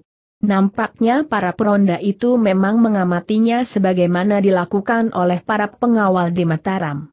Nampaknya ada jalur yang bersambung antara para prajurit dan pasukan khusus di tanah perdikan menoreh, para pengawal di Mataram dan prajurit pajang di Jati Anom dan sekitarnya, berkata Kiai Gringsing. Benar Kiai, sahut Udura, tetapi menurut pengamatanku, semuanya itu adalah ungkapan sikap yang berhati-hati. Kiai Gringsing berpaling ketika Suandaru bertanya, apakah hal seperti itu perlu sekali dilakukan kita wajib berterima kasih, jawab Kiai Gringsing. Suandaru mengerutkan keningnya. Tetapi seperti yang pernah terjadi sebelumnya, ia pun tidak menjawab lagi. Demikianlah maka iring-iringan itu pun meneruskan perjalanan mereka. Mereka bukan hanya sekali saja berpapasan dengan peronda dan para prajurit pajang di Jati Anom dan sekitarnya. Tetapi beberapa kali. Dan nampaknya mereka memang sedang mengawasi perjalanan Kiai Gringsing dan iring-iringannya dari tanah perdikan menoreh. Di bagian belakang dari iring-iringan itu gelagah putih bertanya kepada Sabung Sari, Apakah mereka benar-benar prajurit pajang di bawah pimpinannya Kakang Untara? Ya, jawab Sabung Sari, aku sudah mengenal mereka. Yang terdahulu adalah prajurit-prajurit yang bertugas di Prambanan. Yang terakhir adalah prajurit-prajurit yang bertugas di sekitar pohon mancawarna. Pohon yang terkenal mempunyai beberapa macam bunga. Tanda tanya bertanya gelagah putih. Nampaknya kita pun akan melalui jalan di dekat kademangan manca warna itu, berkata Sabung Sari. Seperti saat kita berangkat berunya gelagah putih. Ya, jawab Sabung Sari, agaknya Ki Untara merasa perlu untuk mengamati perjalanan kita kembali. Justru karena peristiwa yang pernah terjadi di tepian kali Praga itu. Meskipun sebagian besar dari peristiwa yang terjadi di Kali Praga itu sudah diperhitungkan dengan masak oleh Ki Untara. Gelagah putih mengangguk-angguk. Iring-iringan itu pun merayap terus di lereng selatan Gunung Merapi. Mengikuti lambung menuju ke Jati Anom. Ki Demang Sangkal Putung. Swandaru dan Pandanwangi serta pengawal-pengawal mereka tidak langsung menuju ke Sangkal Putung tetapi mereka lebih dahulu akan singgah di Jati Anom sebagaimana mereka berangkat. Baru kemudian mereka akan menuju ke Sangkal Putung. Ternyata mereka sama sekali tidak menemui kesulitan apa pun di perjalanan. Ketika mereka lewat di sebuah padukuhan setelah mereka melewati kademangan manca warna mereka melihat beberapa orang prajurit yang beristirahat di sebuah banjar padukuhan. Bukan karena prajurit itu tinggal di banjar. Itu tetapi nampaknya mereka sedang beristirahat. Mereka agaknya prajurit-prajurit yang sedang bertugas menilik lengkapan dan kuda-kuda mereka yang tertambat di halaman. Beberapa orang prajurit yang berada di halaman hanya memandang saja ketika iring-iringan itu lewat tanpa menyapanya, meskipun mereka melihat Sabung Sari ada pula di antara iring-iringan itu selain beberapa orang prajurit. Demikianlah iring-iringan itu pun lewat seolah-olah ia tidak memperhatikan sama sekali prajurit-prajurit yang sedang berada di banjar itu. Apalagi Suandaru. Sebagaimana kau lihat gelagah putih, berkata Sabung Sari kemudian, prajurit pajang yang berada di bawah pimpinan Ki Untara memang sudah dipersiapkan. Jika terjadi sesuatu atas kita maka mereka tentu akan bertindak. Jika terjadi sesuatu di tempat yang tidak diketahui oleh mereka sahut gelagah putih. Mereka tahu pasti arah perjalanan kita sebagaimana kita berangkat. Di sepanjang jalan itu terdapat prajurit-prajurit yang meronda. Jika terjadi sesuatu, maka para peronda itu tentu akan melihatnya. Entah peronda yang mana. Bukankah kita sering bertemu dengan beberapa orang berkuda yang sedang meronda berkata Sabung Sari. Kemudian, nah dengan panah sendaren mereka memberitahukan keadaan apabila terjadi sesuatu yang gawat, karena mereka tahu pasti, di mana sekelompok pasukan beristirahat seperti yang kita lihat di Banjar itu. Gelagah putih mengangguk-angguk. Oleh kenyataan itu, ia pun dapat mengerti peranan apa yang telah dilakukan oleh Utara untuk melindungi iring-iringan dari Jati Anum itu saat mereka berangkat dan kembali, meskipun Untara sendiri tidak nampak melakukan kegiatan apa pun. Tetapi hasil ketajaman otaknya lah yang telah berlaku di sepanjang jalan saat mereka berangkat dan saat mereka kembali ke Jati Anum itu.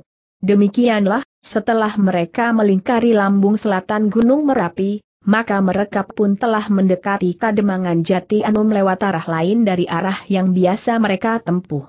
Arah Sangkal Putung. Kita akan langsung menemui Angger Untara, berkata Kiai Gringsing, dengan demikian tugas kita sudah selesai kita membentahukan bahwa adiknya dan iparnya tetah selamat sampai ke tanah perdikan menoreh serta keadaan Agung Sedayu di tanah perdikan itu.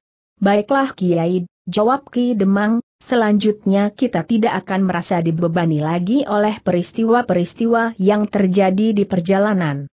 Ayah memang tidak dibebani tugas itu, sahut Swandaru. Kitalah yang bertugas. Seandainya ayah tidak pergi, maka kita pun akan datang menghadap ayah dan melaporkan apa yang telah kita alami seperti yang akan kita beritahukan kepada Kakang Untara. Ki Demang memandang anaknya sejenak. Tetapi ia tidak menjawab.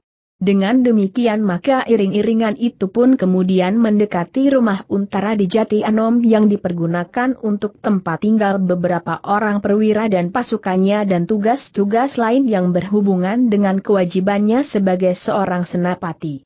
Seperti yang direncanakan, maka iring-iringan itu akan langsung menemui Untara dan melaporkan perjalanan mereka mengantarkan Agung Sedayu dan Sekar Mirah ke tanah perdikan menoreh. Kedatangan mereka telah disambut oleh Untara dan istrinya dengan berbagai macam pertanyaan. Setelah Untara mempersilahkan mereka duduk di pendapa maka ia pun langsung bertanya tentang perjalanan mereka itu. Dengan singkat Kiai Gringsing menceritakan apa yang telah terjadi. Dan ia pun telah menyatakan terima kasihnya, bahwa ternyata Untara telah melakukan usaha yang tepat, sehingga mereka tidak mengalami bencana yang lebih besar lagi selama dalam perjalanan itu. Untara menarik nafas dalam-dalam. Katanya, syukurlah. Aku hanya berusaha. Jika usaha itu berhasil membantu serba sedikit maka aku pun ikut menyatakan kegembiraan bahwa semuanya ternyata selamat meskipun ada yang terluka. Beberapa orang terpaksa tinggal di tanah perdikan, jawab Kiai Gringsing. Pada saatnya mereka akan kembali, desis Untara seolah-olah kepada diri sendiri, namun kemudian ia pun bertanya kepada Widura, bagaimana dengan keadaan Agung Sedayu sendiri? Apakah ia akan dapat hidup sebagaimana dikehendaki oleh keluarga kecil di tanah perdikan itu? Widura mengangguk-angguk. Katanya, Agung Sedayu dan Sekar Mirah sudah sepenuhnya membentuk rumah tangga sendiri.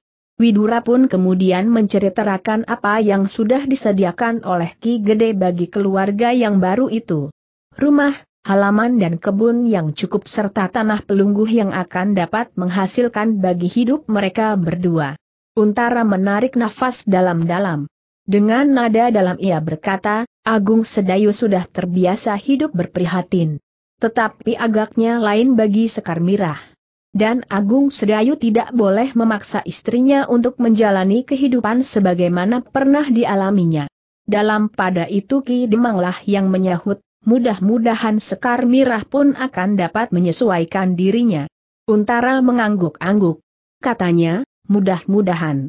Tetapi Agung Sedayu memang harus bekerja keras. Sudah menjadi kewajibannya dalam membangun keluarga baru. Widuralan yang menjawab, Agung Sedayu sudah terbiasa bekerja keras sebagaimana ia terbiasa berprihatin. Mudah-mudahan keluarga baru itu dapat menemukan keseimbangan antara kerja dan keinginan-keinginan mereka. Untara mengangguk-angguk.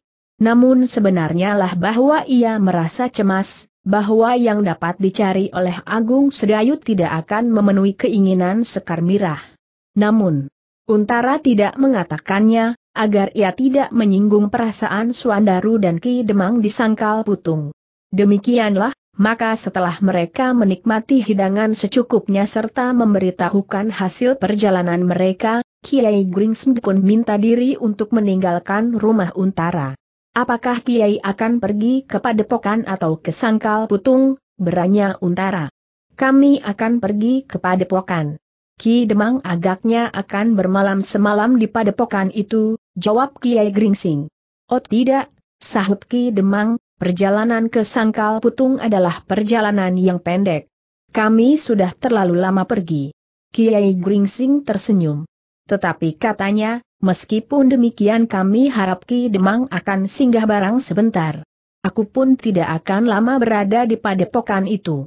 Mungkin dua tiga hari lagi aku pun sudah berada di sangkal putung. Ki Demang berpaling kepada Suandaru dan Pandanwangi. Akhirnya mereka pun setuju untuk singgah barang sebentar. Karena itu maka Ki Demang pun berkata, baiklah Kiai. Kami akan singgah di padepokan itu barang sebentar. Ternyata bahwa Ki Widura dan Gelagah Putih pun akan tinggal bersama Kiai Gringsing ke padepokan itu. Sementara Sabung Sari dan para prajurit yang lain akan langsung menuju ke baraknya. Besok aku akan datang, berkata Sabung Sari kepada Gelagah Putih. Sejenak kemudian maka sebuah iring-iringan telah meninggalkan rumah Untara menuju ke sebuah padepokan kecil di sebelah Jati Anom. Ki Demang Sangkal Putung tidak terlalu lama berada di padepokan itu, ia pun kemudian minta diri untuk kembali ke Sangkal Putung bersama anak menantunya dan para pengawal yang lainnya. Kiai Gringsing memang mempersilahkan mereka bermalam. Tetapi Ki Demang lebih senang untuk melanjutkan perjalanan ke Sangkal Putung yang sudah tidak begitu jauh lagi. Dengan demikian maka sejenak kemudian, Ki Demang pun minta diri untuk kembali ke Sangkal Putung. Bersama anak dan menantunya. rasa-rasanya mereka telah terlalu lama meninggalkan tugas kewajiban mereka, sehingga mereka tidak akan memperpanjang perjalanan mereka lagi mereka pun hanya dengan satu malam. Karena itu, maka sejenak kemudian sebuah iring-iringan kecil telah meninggalkan Jati Anom menuju ke Sangkal Putung. Namun dalam pada itu agaknya Untara masih saja tidak dapat melepaskan iring-iringan itu begitu saja. Ia pun telah mengirim beberapa orang peronda untuk mengamati jalan menuju ke Sangkal Putung, meskipun ia tidak semata-mata mengirimkan pengawal yang mengantarkan Ki Demang kembali ke kademangannya. Demikianlah, maka Ki Demang dan anak serta menantunya pun dengan selamat telah berada di kedemangannya kembali. Sebagaimana mereka kehendaki. Malam itu, Swandaru yang meskipun agak letih sudah berada di antara anak-anak muda sangkal putung yang beberapa lama sudah ditinggalkannya. Dengan tidak langsung, Swandaru pun telah memberitahukan kepada para pengawal di sangkal putung, bahwa nampaknya hubungan antara Pajang dan Mataram benar-benar telah menjadi semakin renggang. Setiap saat, kabut yang tebal di atas pajang akan dapat turun menyubungi pemerintahan yang sudah tidak pasti lagi karena keadaan Kanjeng Sultan Hadiwijaya, berkata Suandaru. Para pengawal di Sangkal Putung memang telah mendengar apa yang terjadi di pajang Kanjeng Sultan Hadiwijaya yang sedang sakit. Sementara beberapa orang pemimpin telah melakukan tindakan yang dapat mengeruhkan keadaan sedangkan mereka yang lain menjadi acuh tidak acuh terhadap kemungkinan-kemungkinan yang dapat terjadi. Mereka lebih banyak memperhatikan diri mereka masing-masing. Tetapi justru karena itu maka rasa-rasanya dipajang bagaikan terdapat api di dalam seonggok jerami. Setiap saat api itu akan dapat membakar bukan saja seonggok jerami itu, tetapi seluruh kota dan bahkan seluruh negeri. Karena itu maka Suandaru tidak dapat berbuat lain kecuali mempersiapkan diri sebaik-baiknya. Apalagi sangkal putung terlelak di antara Pajang dan Mataram. Jika terjadi benturan antara Pajang dan Mataram maka sangkal putung tidak akan dapat menghindarkan diri. Apalagi sebagian dari orang-orang Pajang telah tahu pasti bahwa sangkal putung telah menyatakan dirinya berdiri di pihak Mataram. Kita tidak mempunyai pilihan lain, berkata Swandaru, kita harus menempa diri. Sebagian dari kawan-kawan kita yang terbaik telah berada di tanah perdikan menoreh. Karena itu, maka kita yang tinggal harus menyusul segala kekurangan kita. Dengan demikian, maka Swandaru pun tetap merencanakan latihan-latihan yang lebih terperinci ia tidak menanganinya sendiri. Tetapi ia minta Pandan Wangi untuk membantunya. Mungkin terasa agak janggal, berkata Swandaru, tetapi apa boleh buat. Kau dapat ikut menempa anak-anak muda itu dalam olah kanuragan. Mungkin mula-mula anak-anak muda itu merasa segan kau tangani langsung. Tetapi kemudian akan terbiasa. Aku memerlukan bantuanmu dalam keadaan yang panas ini. Untuk menyusun kekuatan yang terdiri dari gadis-gadis muda agaknya sudah tidak ada waktu lagi meskipun dapat juga dicoba tidak sama sekali. Pandan Wangi mengangguk-angguk. Ia pun mengerti sepenuhnya keadaan yang dihadapi oleh Sangkal Putung. Karena itu maka ia tidak mengelak. Tetapi aku akan mencoba mengumpulkan gadis-gadis Sangkal Putung Kakang, berkata Pandan Wangi, mungkin aku masih ada waktu untuk setidak-tidaknya memperkenalkan mereka dengan keadaan yang gawat. Jika setiap laki-laki terlibat dalam kesibukan perang, maka biarlah perempuan dapat ikut membantu mengamankan keadaan di belakang garis pertempuran. Cobalah. Tetapi kita tidak terlalu banyak berharap dari mereka, jawab Swandaru, selama ini ternyata kita tidak melihat kesempatan itu sehingga pada saat yang semakin mendesak, baru kita berusaha untuk mencobanya. Tetapi Pandan Wangi benar-benar ingin mencoba. Dalam keadaan yang gawat, maka kadang-kadang ada pihak yang ingin memanfaatkan keadaan. Jika dalam peperangan itu terjadi kerusuhan di belakang garis perang, maka gadis-gadis itu akan dapat menyelesaikan sendiri, tanpa mengganggu mereka yang sedang bertempur. Namun di samping rencananya itu, ia pun harus melakukan sebagaimana dikehendaki oleh Swandaru. ia harus ikut menempa anak-anak muda agar pada saatnya mereka tidak mengecewakan. Sejak hari-hari itu, Suandaru dan Pandanwangi bekerja semakin keras. Apa yang terjadi di pinggir kali Praga seakan-akan merupakan satu isyarat, bahwa Pajang sudah mulai bersiap-siap untuk pada suatu saat melakukan serangan terbuka. Di hari-hari berikutnya di samping latihan-latihan yang diberikan kepada para pengawal, maka Pandan Wangi mulai mencoba menghubungi beberapa orang gadis. Namun Pandan Wangi masih menemui banyak kesulitan untuk membuka hati mereka. Meskipun demikian, Pandan Wangi tidak mengenal lelah. Setiap kali ia berusaha untuk menarik perhatian beberapa orang gadis yang dikenalnya dengan baik. Namun dalam pada itu, Pandan Wangi telah membagi tugas dengan Suandaru ia mendapatkan sebagian dari para pengawal di sisi barat. Sementara Suandaru harus menempa anak-anak muda dari bagian tengah dan timur dari kademangannya. Sebagaimana diperhitungkan oleh Suandaru anak-anak muda itu pun merasa janggal mendapat latihan-latihan kanuragan langsung dari seorang perempuan. Meskipun mereka sudah mengetahui bahwa Pandanwangi memiliki ilmu yang luar biasa, sebagaimana Suandaru sendiri. Karena Pandanwangi adalah anak perempuan dan sekaligus murid dari Ki Gede Menoreh. Pandanwangi yang mengetahui keseganan itu telah berusaha memecahkannya.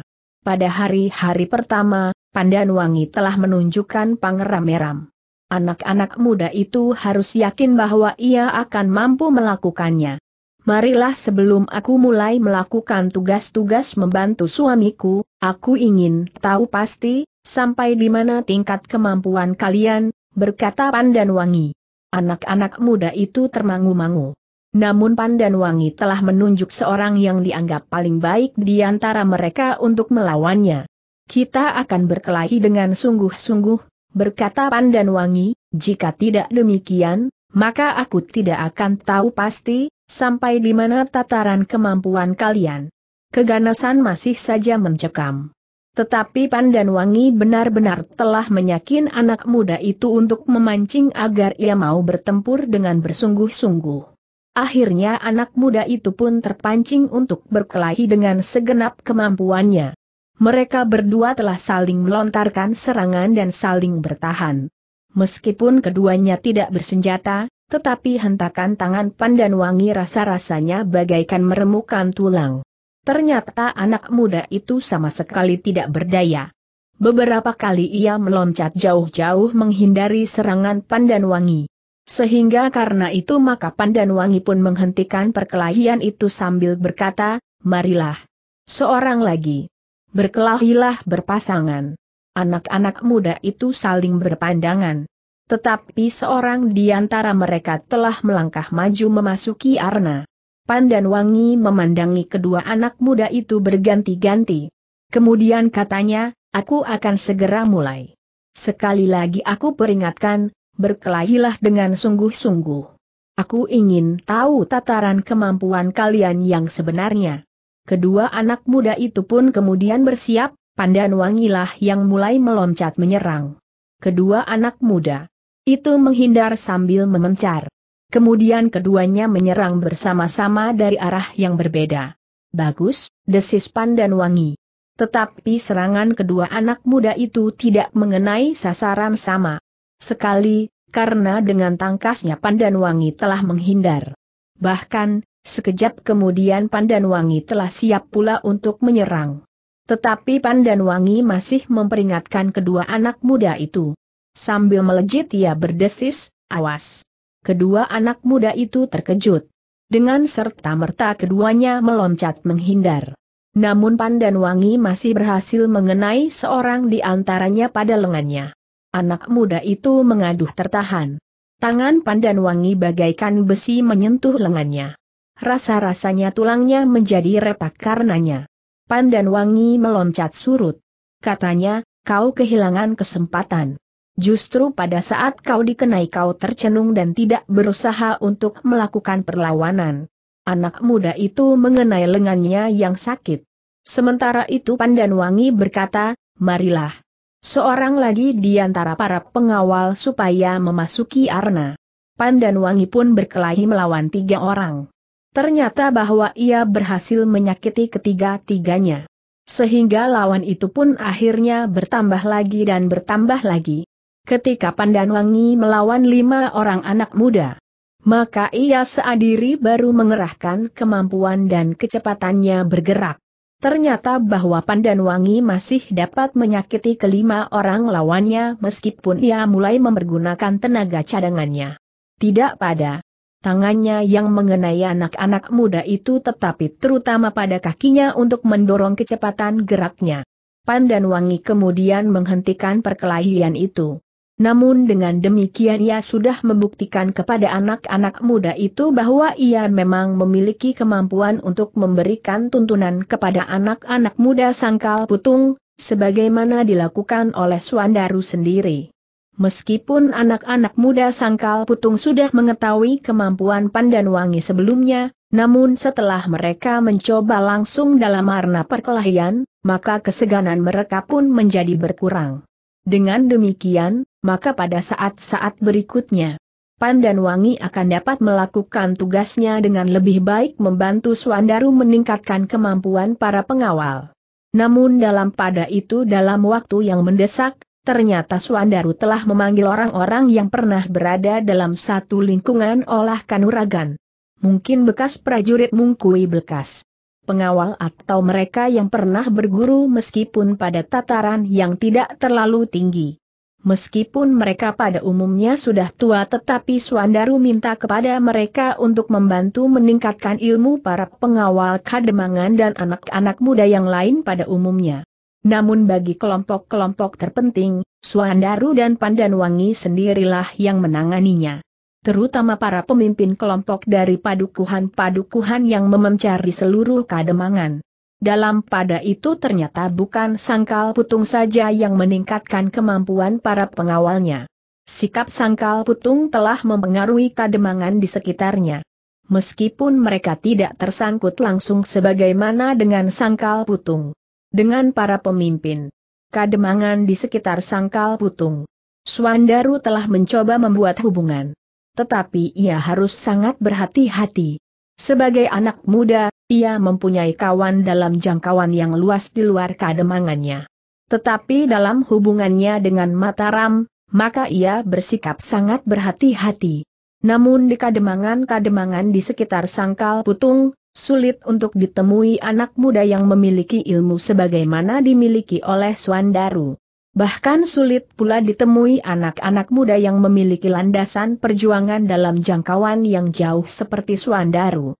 Sementara itu di Jati Anom, Untara telah bekerja keras pula. Tetapi Untara memiliki jalur dan paugeran yang telah mapan. Latihan-latihan dapat diadakan dengan lebih teratur. Setiap jenjang kepemimpinan akan dapat membantu memberikan latihan-latihan kepada para prajurit di lingkungannya. Baik yang berada di Jati Anom maupun yang ditempatkan di beberapa tempat yang menurut Untara memerlukan bantuan.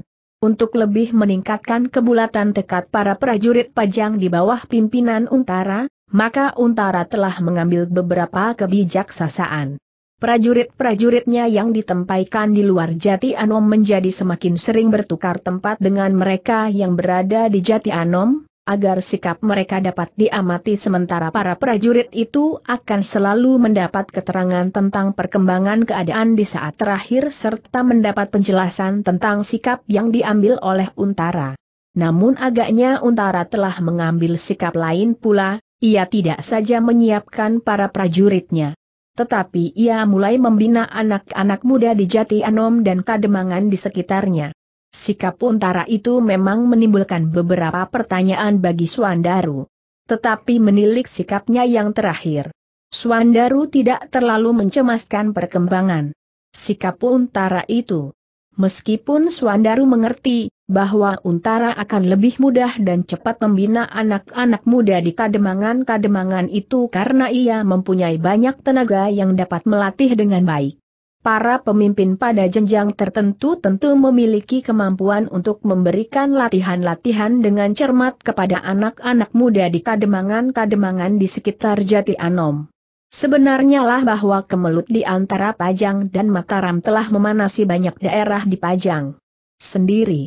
Ki Tumenggung Prabadaru telah membuat pertimbangan-pertimbangan tertentu yang akan dapat menjadi bahan sikapnya dan beberapa orang yang sejalan dengan pikirannya. Sementara beberapa pihak lain dipajang rasa-rasanya tidak mendapat kesempatan lagi untuk berbuat sesuatu. Tetapi dengan demikian bukan berarti bahwa mereka tidak berbuat sesuatu. Namun mereka menyadari, bahwa mereka harus bersikap sangat berhati-hati menghadapi perkembangan keadaan. Namun pasukan khusus di Pajang itu pun telah dikembangkan pula oleh Kitu Menggung Prabadaru.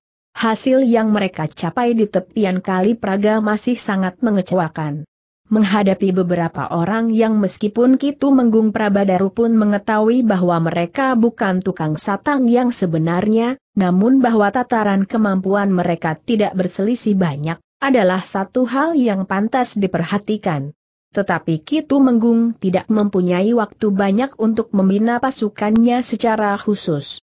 Jika mempercayakan pasukannya kepada beberapa orang pemimpin di pasukan khusus itu sementara Kitu Menggung sendiri sibuk dengan beberapa orang pemimpin lainnya, menyusun rencana-rencana yang akan dapat menentukan akhir dari hubungan Pajang dengan sekitarnya menurut citra golongannya. Sementara itu Mataram juga tidak tinggal diam. Di tanah perdikan menoreh, pasukan khusus yang dibentuk itu pun telah bekerja lebih keras lagi. Kenyataan yang mereka hadapi di tepian telah memperingatkan para pemimpin pasukan khusus di tanah perdikan menoreh bahwa tingkat kemampuan pasukan khusus itu masih ketinggalan dan mereka yang berada di Pajang.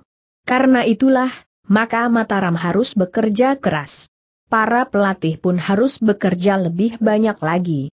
Para pemimpin yang datang dari Mataram masih belum memenuhi kebutuhan untuk meningkatkan ilmu para pengawal dan pasukan khusus itu dengan cepat dalam waktu dekat itulah sebabnya maka Ki Lurah Beranjangan pun telah minta kepada Agung Sedayu.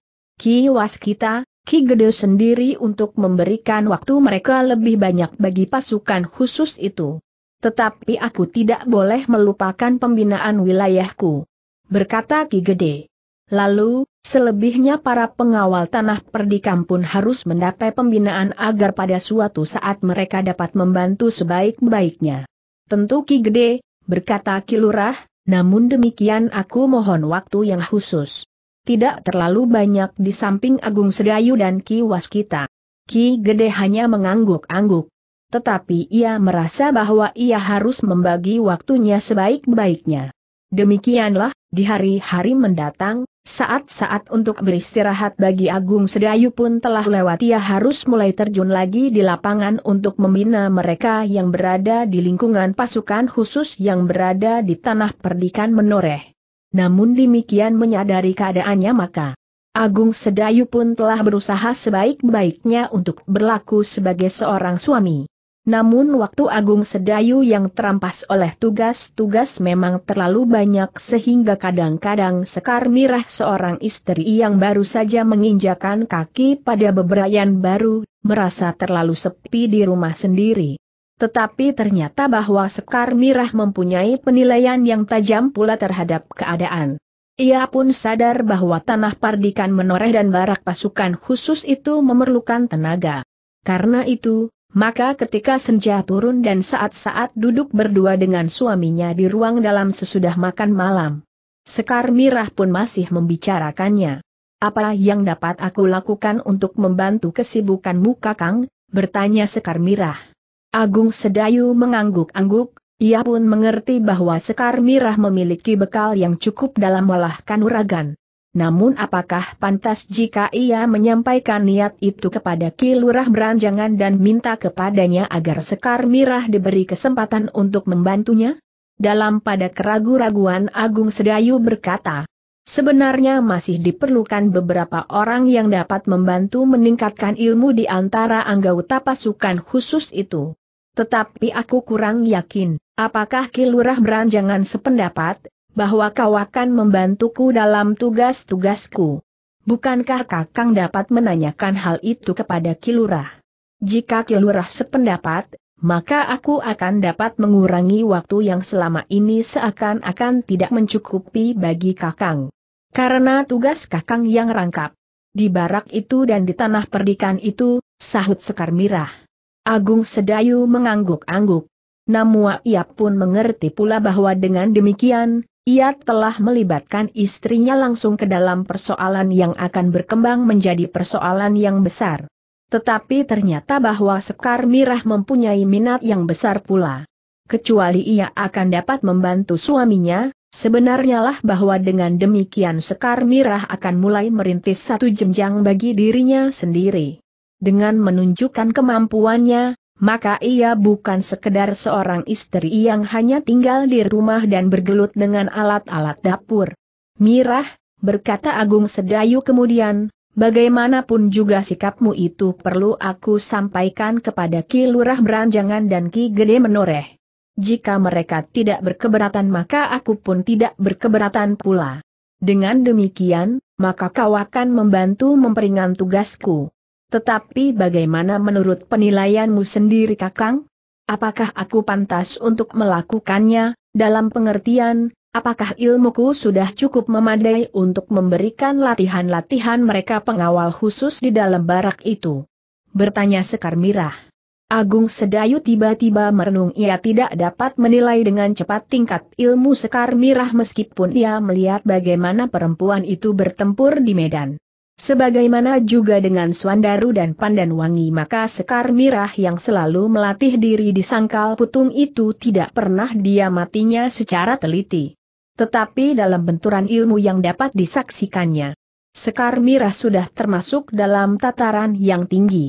Namun demikian, untuk menjadi seorang yang akan membimbing pasukan khusus seperti yang terdapat di barak itu tentu diperlukan lapisan tertentu. Apakah Sekar Mirah sudah sampai ke tingkat yang dimaksudkan itu?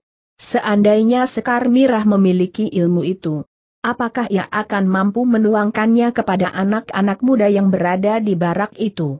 Justru karena Sekar Mirah sendiri masih semuda anak-anak muda yang berada di barak itu apalagi ia adalah seorang perempuan. Nampaknya Sekar Mirah melihat keragu-raguan Agung Sedayu. Karena itu maka katanya, sudah barang tentu Kakang akan dapat menilai langkah tingkat kemampuanku. Dengan demikian yang akan Kakang katakan tentang diriku, bukan sekedar dugaan saja. Agung Sedayu menarik nafas dalam-dalam. Tetapi ia tidak akan dapat menolak permintaan istrinya itu. Jika ia berkeberatan maka Sekar Mirah akan dapat tersinggung. Karena itu maka katanya, jadi apakah maksudmu kita akan melakukan latihan untuk menilik tingkat kemampuan kita masing-masing? Aku tidak mengatakan demikian, sahut Sekar Mirah.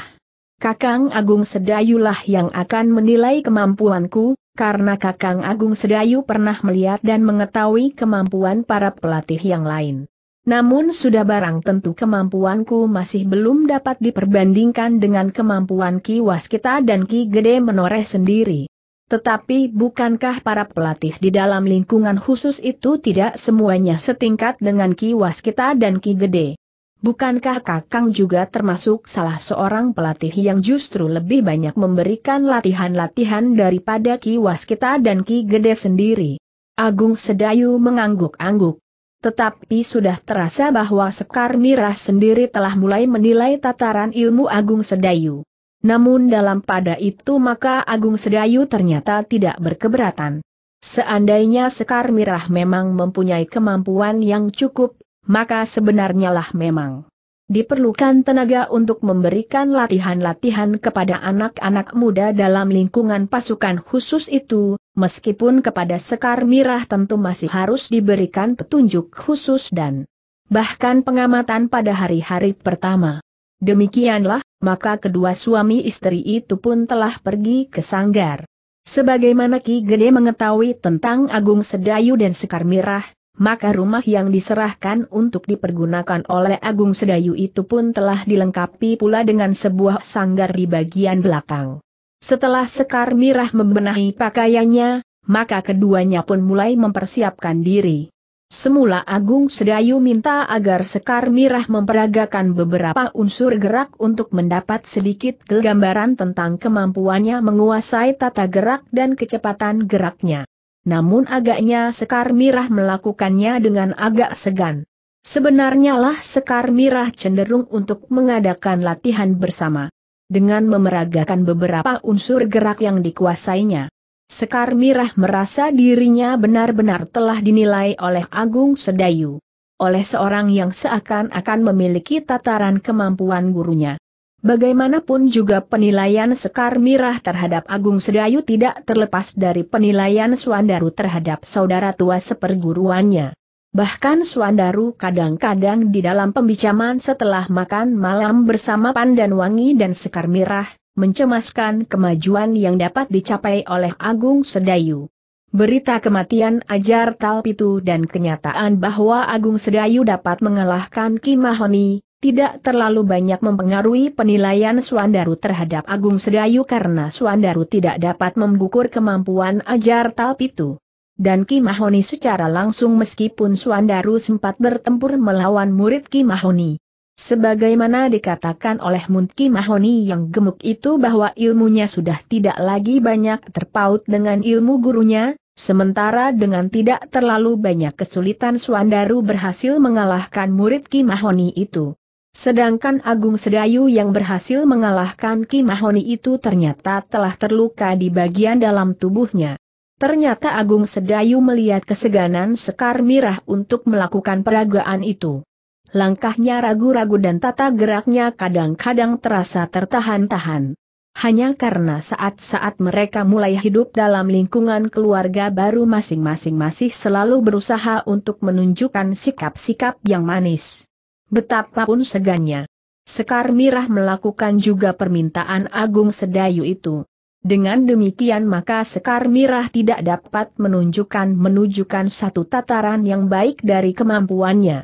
Karena apa yang dilakukannya bukannya tingkat kemampuannya yang sebenarnya. Karena itu maka Agung Sedayu pun kemudian mengusulkan bahwa mereka akan melakukan latihan bersama. Bukankah hal seperti ini sering kau lakukan bersama Suandaru bertanya Agung Sedayu. Ya, jawab Sekar Mirah. Suandaru dan aku mempunyai latar belakang ilmu yang sama. Karena mungkin kau tidak akan terlalu asing melakukan latihan bersama aku sekarang, berkata Agung Sedayu. Keduanya pun kemudian telah mempersiapkan diri. Yang nampak pada Agung Sedayu, memang sikap sebagaimana dapat dilihat pada Suandaru. Namun karena perbedaan silat kedua saudara seperguruan itu, maka nampak juga perbedaan watak dan sikap itu meskipun wujud lahiriahnya tidak berbeda. Sejenak kemudian, Sekar Mirah telah mulai bergerak meskipun ia berusaha untuk menjadi seorang istri yang baik. Namun ia tidak dapat menyembunyikan gejolak keinginannya untuk menunjukkan kepada Agung Sedayu, bahwa ia memiliki kemampuan yang patut dibanggakan, dan yang barangkali akan mengherankan bagi suaminya. Mungkin tidak akan diduga oleh Kakang Agung Sedayu. Berkata Sekar Merah di dalam hatinya, tetapi mudah-mudahan aku tidak menjadi terlalu kecewa melihat tingkat kemampuan suamiku ini. Sejenak kemudian Sekar Mirah telah mulai menyerang. Sebagaimana terbiasa serangan pertama tidak terlalu berbahaya, sehingga dengan demikian, maka dengan mudah Agung Sedayu pun mengelakkannya. Tetapi serangan-serangan berikutnya menjadi semakin lama semakin cepat. Gerak tangan dan kaki Sekar Mirah cukup deras, sehingga terasa angin yang menyambar pakaian dan kulit Agung Sedayu. Sebagaimana yang dilakukan oleh Suandaru, maka Sekar Mirah telah berusaha untuk meningkatkan kemampuan jasmaniahnya. Geraknya menjadi sangat cepat dan tenaga Sekar Mirah sungguh di luar dugaan. Apalagi ia adalah seorang perempuan. Tetapi Agung Sedayu tidak ingin membentur kekuatan istrinya secara langsung. Hal itu akan sangat berbahaya bagi Sekar Mirah, karena agaknya Sekar Mirah sama sekali tidak mengendalikan dirinya, ia benar-benar ingin menunjukkan kepada Agung Sedayu seluruh kekuatan dan kemampuan yang ada padanya. Itulah sebabnya gerak dan tandang Sekar Mirah nampak bebas lepas sebagaimana orang yang benar-benar sedang berkelahi. Namun justru karena itulah maka Agung Sedayu merasa berkewajiban untuk menyesuaikan dirinya. Tetapi Agung Sedayu tidak ingin mengecewakan istrinya. Meskipun ia dapat berbuat terlalu banyak jika ia menghendakinya, tetapi selalu menjaga dirinya. Ia berusaha untuk menyesuaikan kemampuannya pada tingkat kemampuan Sekar Mirah. Sebenarnya lah Sekar Mirah tidak berkembang dengan pesat, ia memiliki kemampuan dan kecepatan bergerak yang mengagumkan. Sementara tangan dan kakinya menjadi semakin terampil. Kakinya yang ringan melontarkan tubuhnya seperti burung sikatan menyambar bilalang. Sedangkan tangannya mampu bergerak dengan kecepatan yang hampir tidak dapat diikuti oleh mata wadak, sehingga dengan demikian tangan perempuan itu seolah-olah telah berubah menjadi beberapa pasang tangan yang bergerak bersama-sama. Latihan yang seolah-olah menjadi bersungguh-sungguh itu telah berlangsung semakin seru. Setiap peningkatan kecepatan gerak Sekar Mirah selalu diimbangi oleh Agung Sedayu. Sehingga akhirnya Agung Sedayu pun menyadari bahwa Sekar Mirah telah sampai pada puncak kemampuannya. Sebenarnya lah Sekar Mirah adalah seorang perempuan yang luar biasa. Dalam puncak kemampuannya, sudah barang tentu Sekar Mirah tidak akan mempergunakan unsur-unsur gerak yang akan dapat membahayakan lawannya berlatih. Jika perempuan itu benar-benar bertempur ia tentu akan menjadi semakin garang apalagi jika ia membawa tongkat baja putihnya, bertata Agung Sedayu di dalam hati. Tetapi Agung Sedayu sendiri adalah orang yang memiliki ilmu berlapis-lapis. Karena itu betapa tinggi ilmu Sekar Mirah, bagi Agung Sedayu yang telah berhasil membunuh Ajar Talpitu dan Kimahoni itu, masih belum sampai pada tingkat yang gawat. Namun ternyata bahwa Agung Sedayu telah mengendalikan perasaannya, sehingga ia tidak ingin mengecewakan istrinya. Dengan demikian maka Agung Sedayu tidak menunjukkan batas kemampuannya sampai tuntas, karena ia menyadari, bahwa hal itu akan dapat menyinggung harga diri Sekar Mirah. Karena Agung Sedayu sudah mengenal watak perempuan yang telah menjadi istrinya itu. Sebenarnya lah Sekar Mirah merasakan sesuatu yang aneh pada lawannya berlatih itu. Semula ia merasa bahwa ilmu Agung Sedayu ternyata tidak terlalu mengejutkan baginya. Tetapi ilmu Agung Sedayu pun tidak mengecewakan. Tetapi pada saat-saat ia meningkatkan ilmunya masih selalu terasa bahwa ilmu Agung Sedayu masih tetap berada di atas ilmunya, sehingga akhirnya Sekar Mirah itu pun telah mengerahkan segenap kemampuannya. Meskipun Sekar Mirah masih tetap menyadari bahwa yang terjadi itu bukan sebenarnya berkelahi, namun ia berusaha untuk dapat menunjukkan kepada Agung Sedayu bahwa ia memiliki kecepatan gerak yang tidak dapat diimbangi oleh Agung Sedayu. Tetapi setiap kali ia berusaha menyentuh Agung Sedayu, ternyata ia telah gagal yang nampaknya terbuka, ternyata sama sekali tidak berhasil dijangkaunya. Luar masa, desis sekar merah di dalam hatinya. Dengan kemampuan apa yang membuatnya demikian lihat, Sekar Mirah yang sudah sering berlatih bersama Suandaru dan Pandanwangi itu pun harus mengakui bahwa kemampuan Agung Sedayu tidak akan dapat dijangkaunya. Semakin keras ia bersikap, maka gerak Agung Sedayu pun rasa-rasanya menjadi semakin cepat.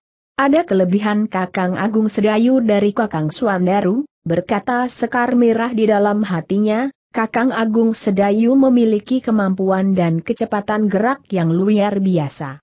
Tetapi agaknya Kakang Agung Sedayu tidak memiliki kekuatan seperti Kakang Suandaru.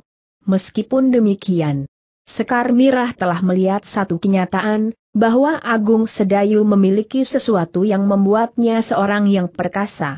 Tetapi dalam pada itu, sifat-sifat Sekar Mirah kadang-kadang memang kurang menguntungkan. Justru karena harga dirinya. Meskipun ia menyadari akan kelebihan Agung Sedayu tetapi rasa-rasanya masih saja ada keinginan di dalam hatinya untuk menunjukkan bahwa ia adalah seorang yang memiliki ilmu yang sulit dicari bandingnya. Semakin keras Sekar Mirah berkelahi. Agung Sedayu pun semakin melihat sifat-sifat isyarinya. Agaknya Sekar Mirah sulit melihat kenyataan tentang dirinya. Sejak semula Agung Sedayu sudah merasa bahwa Sekar Mirah memang ingin menunjukkan kepadanya, bahwa ilmunya telah meningkat semakin jauh. Namun dengan mengerahkan segenap kemampuan dan kekuatan yang ada pada dirinya, ternyata Sekar Mirah menjadi semakin cepat dibasahi oleh keringatnya bahkan tenaganya pun seakan-akan telah diperas sehingga kurang diperhitungkan, apa yang akan terjadi kemudian jika perkelahian itu akan berlangsung lama. Apakah benar Kakang Agung Sedayu mempunyai ilmu selain olah kanuragan berdasarkan kewanagan? Bertanya Sekar Mirah di dalam hatinya. Agung Sedayu menarik nafas dalam-dalam. Nampaknya Sekar Mirah memang ingin membantunya. Tetapi ada juga terbersit dugaan, bahwa Sekar Mirah memang ingin menunjukkan dirinya dan merintis jalan bagi kesempatan-kesempatan yang lebih luas. Tetapi Agung Sedayu merasa bahwa ia tidak perlu menghalanginya. Karena itu maka Agung Sedayu itu pun kemudian berkata, Baiklah Sekar Mirah. Aku akan menyampaikan keinginanmu itu kepada Ki Lurah tetapi juga harus ada izin dari Ki Gede dan barangkali pertimbangan dari Ki Waskita. Terserahlah kepadamu Kakang, jawab Sekar Mirah, Aku hanya menawarkan satu kemungkinan yang akan dapat mengurangi kesibukanmu serba sedikit. Aku mengerti Mirah. Tetapi keputusan terakhir tidak terletak di tanganku, jawab Agung Sedayu. Sekar Mirah tidak mendesak lebih jauh ia pun mengerti. Bahwa keputusan terakhir terletak pada Ki Lurah Beranjangan dan izin dari Ki Gede Menoreh yang menjadi pengganti orang tuanya. Di hari berikutnya Agung Sedayu berjanji untuk menyampaikan keinginan Sekar Mirah itu kepada orang-orang yang berkepentingan. Meskipun dengan rasa segan namun ia menyampaikan keinginan Sekar Mirah itu kepada Ki Gede dan Ki Waskita. Ki Gede merenung sejenak. Rasa-rasanya memang janggal. Tetapi Ki Gede sendiri mempunyai seorang anak perempuan yang memiliki ilmu kanuragan. Apakah Pandan Wangi juga berbuat sesuatu bagi anak-anak muda di sangkal putung bertanya Ki Gede kepada diri sendiri. Dalam pada itu agaknya Ki Waskita pun merasakan kesulitan perasaan Agung Sedayu dan Ki Gede. Namun menilik keterangan Agung Sedayu. Sekar Mirah nampaknya benar-benar ingin berbuat sesuatu. Karena itu maka katanya. Ki Gede. Apakah Ki Gede berpendapat, bahwa biarlah Agung Sedayu menghubungi Ki Lurah Beranjangan untuk menyatakan keinginan Sekar Mirah. Namun dengan pengertian bahwa pada hari-hari pertama, Sekar Mirah akan membantu Agung Sedayu langsung. Maksudku, bahwa Sekar Mirah tidak melakukannya sendiri. Tetapi sekedar memberikan bantuan pada saat Saal Agung Sedayu memberikan latihan. Mungkin peragaan, mungkin petunjuk-petunjuk dan bimbingan, sebagaimana dimaksud oleh Agung Sedayu. Ki Gede mengangguk-angguk. Katanya kemudian, baiklah Ki Waskita. Mungkin hal itu akan dapat dilakukan jika Ki Lurah tidak berkeberatan. Kita tahu bahwa kadang-kadang seseorang masih juga berpegang pada harga diri. Kehadiran Sekar Mirah tentu akan menimbulkan persoalan. Mungkin anak-anak itu ingin tahu dengan pasti apakah Sekar Mirah benar-benar mempunyai kemampuan untuk melakukan tugas itu. Jika terjadi demikian, tentu akan berbeda dengan yang dilakukan oleh Angger Agung Sedayu terhadap anak-anak itu. Aku akan mencoba mengekangnya Ki Gede, berkata Agung Sedayu kemudian. Ki Gede mengangguk-angguk. Katanya, baiklah, kau harus turut bertanggung jawab seandainya Ki Lurah Beranjangan memberikan kesempatan kepada Sekar Mirah. Bertahap kau akan dapat melepaskannya, sehingga akhirnya ia benar-benar dapat membantumu dalam arti mengurangi kesibukanmu. Agung Sedayu mengangguk-angguk. Katanya, baiklah Ki Gede aku akan pergi ke barak. Apakah Ki Waskita juga akan pergi ke barak? Tetapi Ki Waskita tersenyum. Katanya, Hari ini tidak Agung Sedayu. Bahkan tolong sampaikan kepada Kilurah, bahwa untuk dua tiga hari aku akan menengok rumahku. Jaraknya tidak terlalu jauh. Karena itu aku akan dapat mondar-mandir. Beberapa hari di sini dan beberapa hari di rumahku sendiri. Agung Sedayu mengangguk-angguk. Dengan nada dalam ia berkata, kadang-kadang aku merasa kehilangan. Mungkin aku belum terbiasa berumah tangga. Rasa-rasanya di saat-saat tertentu aku merasa sendiri meskipun ada sekar mirah di rumah itu. Kau memang kehilangan Agung Sedayu, sahut kiwas kita, kehilangan satu kebiasaan untuk berbincang dengan aku dan Ki Gede menjelang malam atau sesudah makan. Jika kau berdua saja dengan istrimu, mungkin persoalan yang kau bicarakan berbeda dengan pembicaraan-pembicaraan yang sering kita lakukan. tetapi kau akan terbiasa dengan itu. Sehingga kau tidak akan merasa sendiri lagi. Agung Sedayu mengangguk-angguk. Namun kemudian ia pun minta diri untuk pergi ke barak.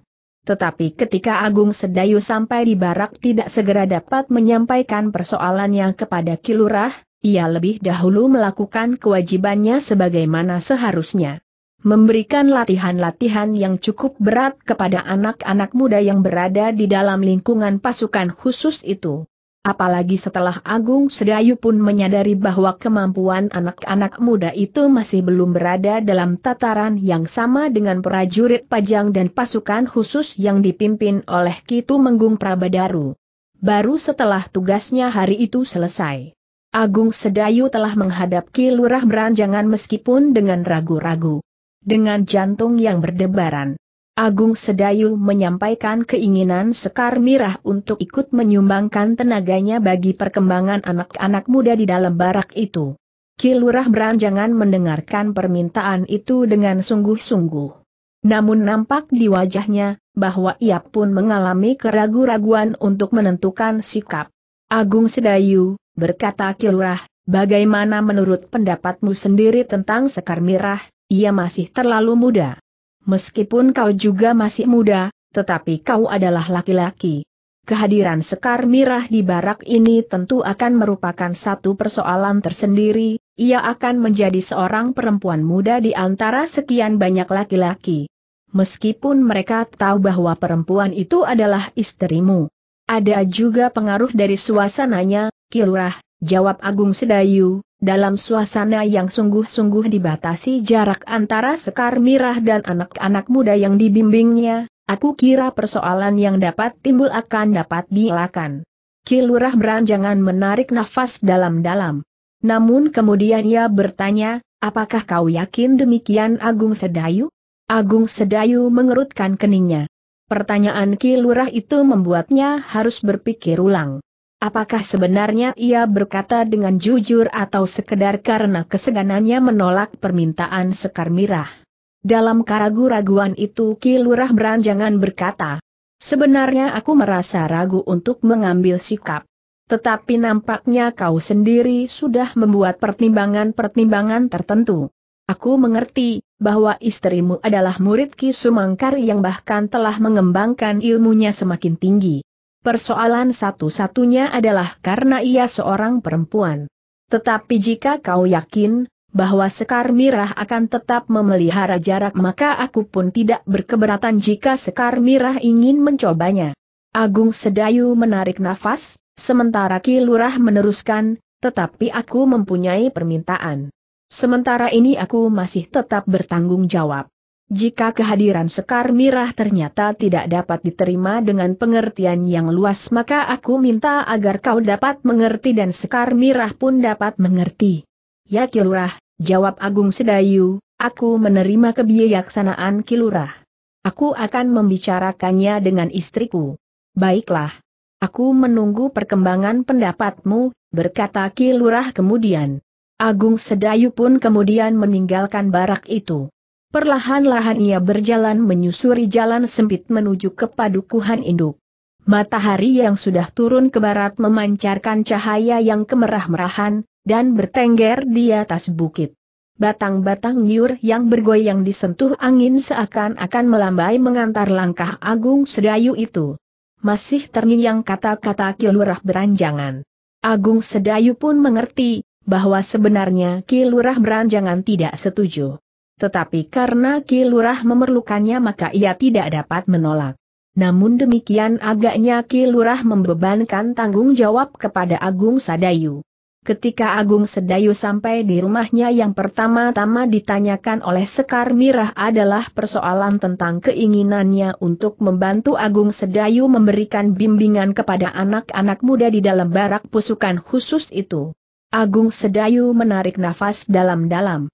Memang terasa di hatinya, Sekar Mirah memang ingin membuat jalur kesempatan bagi namanya untuk mulai dikenal di tanah perdikan menoreh dan selebihnya di Mataram.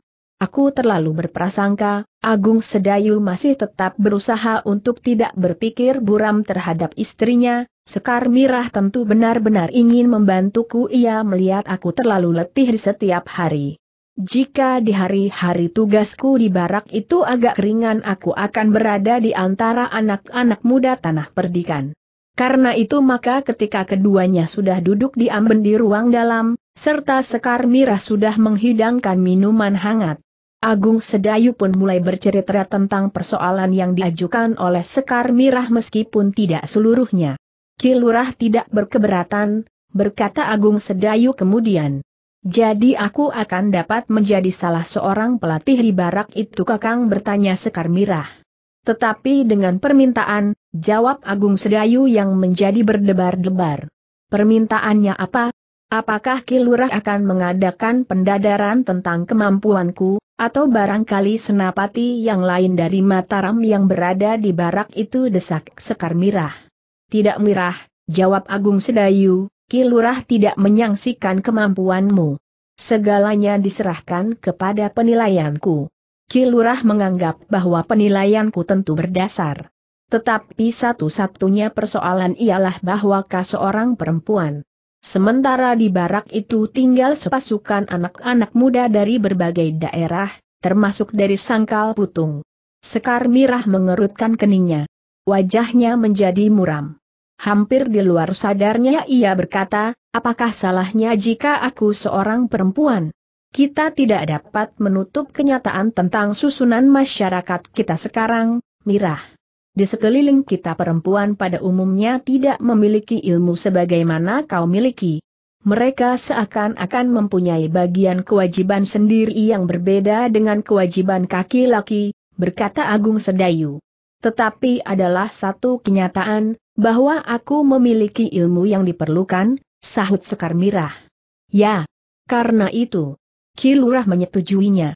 Namun karena kau adalah satu-satunya perempuan di dalam tugas seperti itu, maka Ki Lurah tidak dapat membayangkan apakah kau akan dapat melakukan tugas itu sebagaimana dilakukan oleh laki-laki.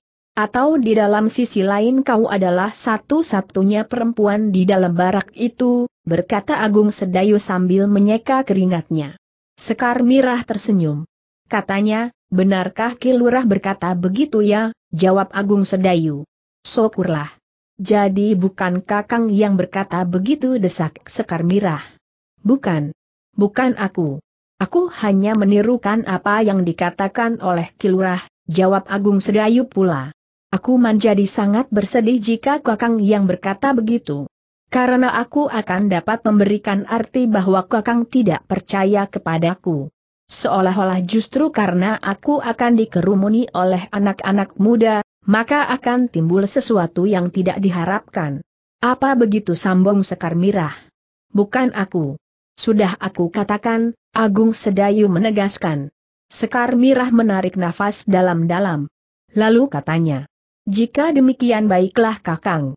Aku akan membuktikan kepada Ki Lurah Beranjangan bahwa aku akan dapat berbuat sebaik-baiknya. Agung Sedayu termangu-mangu sejenak. Ia tidak tahu pasti apakah yang dimaksud oleh Sekar Mirah. Apakah yang akan diperbuatnya kemudian? Mungkin Sekar Mirah akan berbuat baik sebagai pelatih dan pembimbing atau berbuat baik sebagai seorang perempuan muda di antara anak-anak muda di barak itu atau bahkan kedua-duanya. Namun Agung Sedayu menjadi berdebar-debar ketika Sekar Mirah itu bertanya, Kapan aku dapat mulai kakang? Besok? Ah, jawab Agung Sedayu, jangan tergesa-gesa. Aku masih harus berbicara dengan Ki Lurah tentang pelaksanaannya. Wajah Sekar Mirah menjadi buram. Nampak bahwa perempuan itu menjadi kecewa. Tetapi Agung Sedayu memang tidak dapat berbuat lain. Bukan Agung Sedayulah yang menentukan segala-galanya. Tetapi ia hanya berhak mengusulkannya. Karena itu maka katanya, Besok aku akan memberitahukannya lebih lanjut, silahkan kakang. Tetapi lebih cepat akan lebih baik. Dengan demikian kehadiranku di sini tidak sia-sia sementara kakang bekerja keras hampir siang dan malam, berkata Sekar Mirah kemudian. Namun agaknya banyak yang harus dilakukan untuk memenuhi keinginan Sekar Mirah itu. Karena tugas yang terbagi di barak maka jika Sekar Mira hadir di antara para pelatih, maka akan ada sebagian dari anak-anak muda itu yang akan menerima latihan dan bimbingan dari seorang perempuan. Bagaimana jika justru anak-anak sangkal putung sendiri? Berkata Agung Sedayu kemudian ketika ia berbicara dengan kelurah beranjangan. Aku kira itu adalah yang paling baik anak-anak muda yang datang dari sangkal putung itu akan berada di bawah pimpinanmu. Biarlah Sekar Merah membantumu, jawab Kilurah beranjangan. Namun kemudian katanya, tetapi jika sampai saatnya harus terjadi putaran maka akan datang waktunya kau dan Sekar Mirah akan memberikan bimbingan kepada orang lain tetapi ia sudah dikenal oleh anak-anak di dalam barak ini sehingga kehadirannya bukan lagi merupakan satu kejanggalan, sahut Agung Sedayu. Kilurah beranjanggan mengangguk-angguk. Katanya, baiklah Agung Sedayu. Tetapi aku sudah memperingatkan. Istrimu adalah seorang perempuan muda yang cantik. Jika aku memuji maksudku justru mendorong agar kau memperhitungkannya lebih cermat. Aku sudah memperhitungkannya Kilurah, jawab Agung Sedayu sebelum merenungi kata-kata Kilurah itu. Kilurah mengangguk-angguk. Katanya, besok kita akan mengadakan pembagian tugas. Istrimu akan segera dapat membantumu. Aku akan memilih kelompok yang di antaranya terdapat sebagian besar anak-anak muda sangkal putung. Sudah tentu aku tidak dapat membagi secara tegas bahwa dalam kelompok itu hanya terdapat anak-anak sangkal putung saja. Aku harus menilai kelompok yang sudah ada, yang memiliki anggota paling banyak berasal dari sangkal putung. Kelompok-kelompok itulah yang akan tergabung dalam sebuah kelompok yang lebih besar.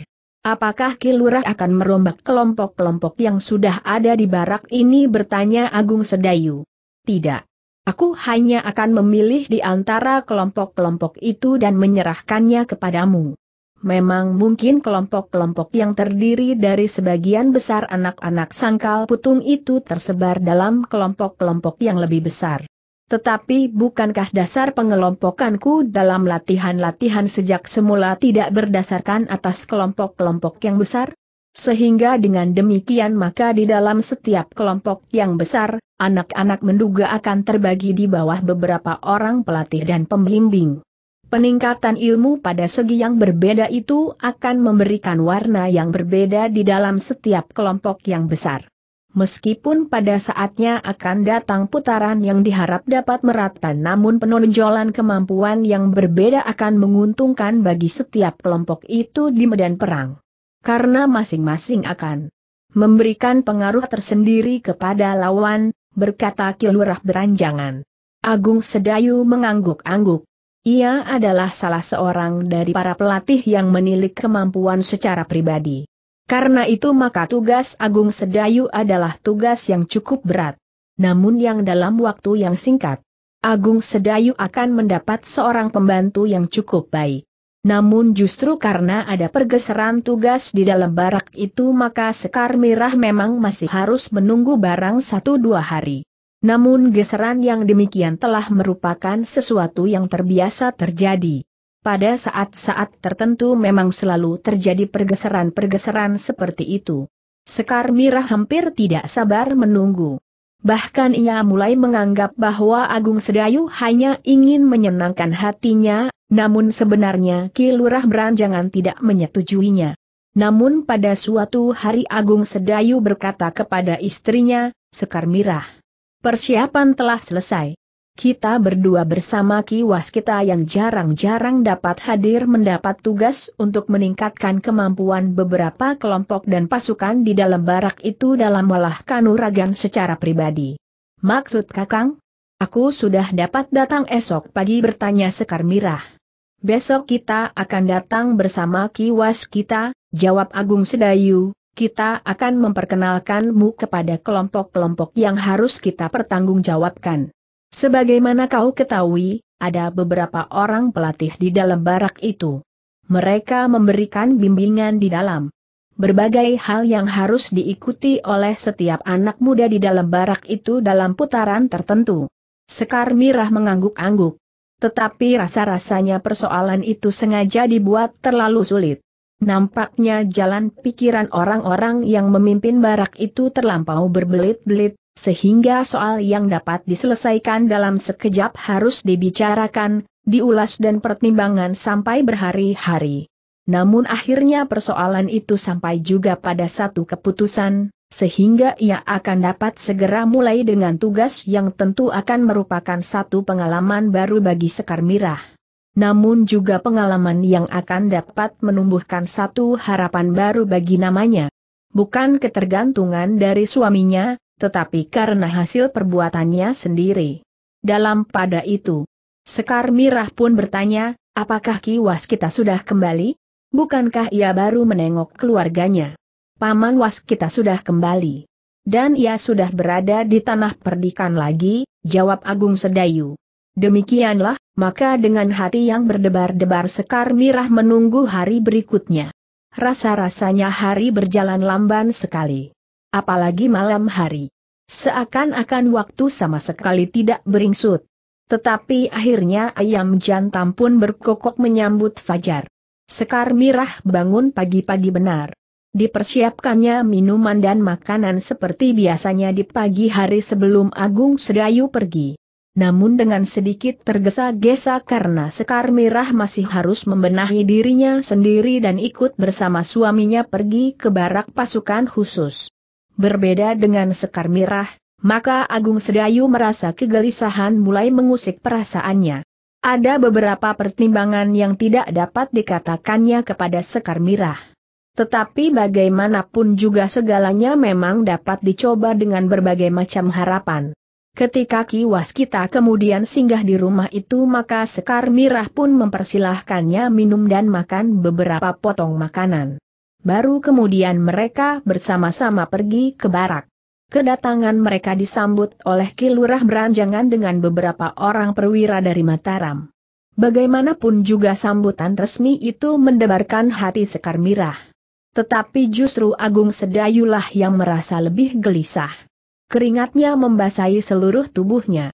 Ia yakin bahwa Sekar Mirah mempunyai tingkatan ilmu tidak kurang dari beberapa orang perwira yang ada di barak itu.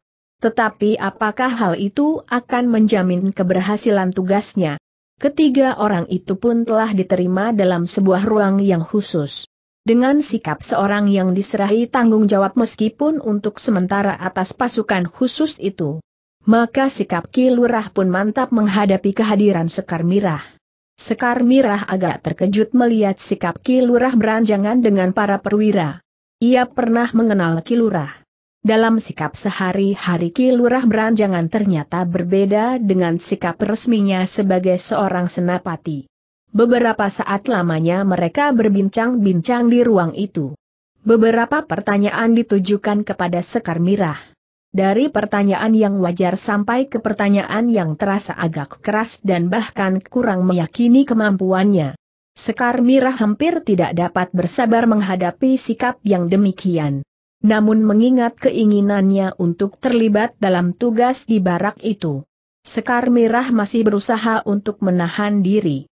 Tetapi ia berkata di dalam hatinya, jika saja Ki Lurah ini mau menjajagi ilmuku, ia dapat melakukannya sendiri atau seorang senapatinya yang paling baik. Tetapi akhirnya Ki Lurah itu berkata, baiklah Agung Sedayu. Kau dapat memperkenalkan Sekar Mirah pada tugasnya. Seperti yang sudah aku katakan bahwa Sekar Mirah akan bertugas bersamamu pada sekelompok besar yang sudah aku tentukan, yang terdiri dari beberapa kelompok yang lebih kecil kau persiapkan mereka dengan baik. Kemudian pada saatnya, akan terjadi putaran tugas, sehingga setiap kelompok akan mendapatkan latihan-latihan dan bimbingan yang merata dalam berbagai segi kemampuan yang diperlukan. Baiklah Kilurah, jawab Agung Sedayu, biarlah Sekar Mirah memperkenalkan diri hari ini dengan tugas yang harus dilakukannya di sini. Demikianlah, maka Sekar Mirah pun kemudian mengikuti Agung Sedayu meninggalkan ruang itu. Sementara Ki Waskita masih tetap berada di dalamnya bersama Ki Lurah Beranjangan dengan beberapa orang perwira. Ister Agung Sedayu memang memiliki kemauan yang membara di dalam hatinya untuk berbuat sesuatu, berkata Ki Waskita. Ki Lurah Beranjangan mengangguk-angguk. katanya. Sebenarnya aku mempunyai beberapa keberatan Ki Waskita. Aku tahu. Tetapi Ki Lurah merasa segan menolaknya karena Agung Sedayu yang sangat diperlukan di sini. Meskipun pada saat-saat tertentu Raden Sutawijaya sendiri berada di dalam barak ini sehingga tanpa Agung Sedayu pun agaknya pasukan ini tidak akan mengalami kemunduran yang berarti. Bukan begitu Ki Waskita, jawab Ki Lurah, kami benar-benar memerlukan Agung Sedayu. Bagaimanapun juga, kami masih berharap bahwa Agung Sedayu berada benar-benar di dalam lingkungan pasukan ini. Ki Waskita menarik nafas dalam-dalam. Katanya kemudian. Tetapi lepas dari gambaran yang kurang baik terhadap kehadiran Sekar Mirah, aku dapat memberikan sedikit keterangan tentang perempuan itu, ia memiliki ilmu yang cukup tinggi yang diwarisinya dari Ki Sumangkar. Ya, jawab Kilurah, kami mengerti. Tetapi kami pun tidak dapat menutup pengertian kami bahwa ia adalah seorang perempuan muda yang cantik. Tetapi mudah-mudahan tidak timbul persoalan-persoalan yang tidak diharapkan. Mungkin pada suatu hari aku akan dipanggil oleh Senapati Inggalaga untuk mempertanggungjawabkan kehadiran Sekar Mirah di barak ini. Jika diperlukan, aku dapat membantu Kilurah. Agaknya Raden Sutawijaya pun akan dapat mendengarkan keterangan-keterangan yang kita berikan tentang perempuan itu dalam hubungannya dengan diri dan tugas Agung Sedayu di sini. Berkata Ki Waskita kemudian. Baiklah Ki Waskita. Aku tahu, seperti Kiai Gringsing maka setiap pendapat Ki Waskita akan didengar oleh Raden Sutawijaya, jawab Ki Lurah kemudian. Dalam pada itu, Agung Sedayu dan Sekar Mirah telah menuju ke tempat tugas mereka. Sebagaimana tugas yang berbeda-beda dari beberapa orang yang memberikan bimbingan kepada anak-anak muda di dalam barak itu, maka tempat bagi mereka pun telah terbagi. Beberapa bagian dari lapangan yang tersedia di sekitar barak itu telah dilengkapi dengan peralatan yang diperlukan untuk latihan, sesuai dengan jenisnya masing-masing. Ketika Agung Sedayu dan Sekar Mira hadir di tempat latihan yang tersedia, maka sekelompok di antara pasukan khusus itu sudah menunggu. Kelompok yang masih dibagi dalam kelompok-kelompok yang lebih kecil, yang dipimpin oleh anak-anak muda yang pada permulaan pembentukan pasukan itu hadir mendahului kawan-kawannya. Kehadiran Agung Sedayu dan Sekar Mirah memang menarik perhatian. Anak-anak muda yang berasal dari Sangkal Putung, yang banyak terdapat di antara anak-anak muda di dalam kelompok yang besar itu, menjadi berdebar-debar. Mereka sudah mengetahui bahwa Sekar Mirah telah kawin dengan Agung Sedayu. Mereka pun telah mengetahui bahwa Sekar Mirah adalah murid Ki Sumangkar yang telah tidak ada. Namun demikian bahwa Sekar Mirah itu hadir di tempat latihan itu, agaknya memang sangat menarik perhatian. Bahkan anak-anak muda yang berasal dari tempat lain, juga anak-anak muda yang berasal dari tanah perdikan menoreh yang sudah mengenal Sekar Mirah itu pula, sempat tersenyum dan saling berbisik melihat perempuan cantik itu. Namun anak-anak muda sangkal putung yang ada di antara mereka berusaha untuk memberikan penjelasan, bahwa Sekar Mirah memiliki kemampuan ilmu yang tinggi. Dalam pada itu maka Agung Sedayu dan Sekar Mirah itu langsung menuju ke tempat anak-anak muda itu menunggu. Betapapun juga Agung Sedayu melihat, senyum yang tertahan. Di setiap bibir para pengawal khusus itu. Terutama yang tidak berasal dari sangkal putung yang ada di antara mereka. Tetapi Agung Sedayu tidak menghiraukannya ia pun kemudian berdiri di hadapan pengawal khusus yang sedang berbaris menunggunya. Dengan singkat Agung Sedayu pun memberikan penjelasan, karena ia menghadapi kelompok yang baru disusun. Meskipun kelompok-kelompok kecil di dalam kelompok-kelompok itu adalah kelompok yang sudah ada, tetapi dalam keseluruhan kelompok yang besar itu adalah sebuah kelompok yang baru. Perubahan susunan seperti ini perlu, berkata Agung Sedayu, kita akan mendapatkan suasana baru kita akan mendapatkan bentuk latihan yang semakin meningkat dari susunan kelompok yang berbeda. Tetapi aku yakin, bahwa kemampuan kalian secara pribadi, sebagaimana menjadi tugasku untuk meningkatkannya, pada umumnya adalah rata-rata. Anak-anak muda yang tergabung dalam pasukan khusus itu mendengarkan dengan saksama. Tetapi sebelum dari mereka tidak dapat melepaskan tatapan mati mereka kepada Sekar Mirah yang berdiri di samping Agung Sedayu. Sementara itu Agung Sedayu meneruskannya. Perubahan-perubahan susunan kelompok yang besar seperti ini telah beberapa kali diselenggarakan. Maksudnya untuk mendapatkan kesegaran baru dan membaurkan setiap lingkungan dalam peningkatan ilmu. Pada saat ini dan seterusnya sampai terdapat perombakan dari susunan baru.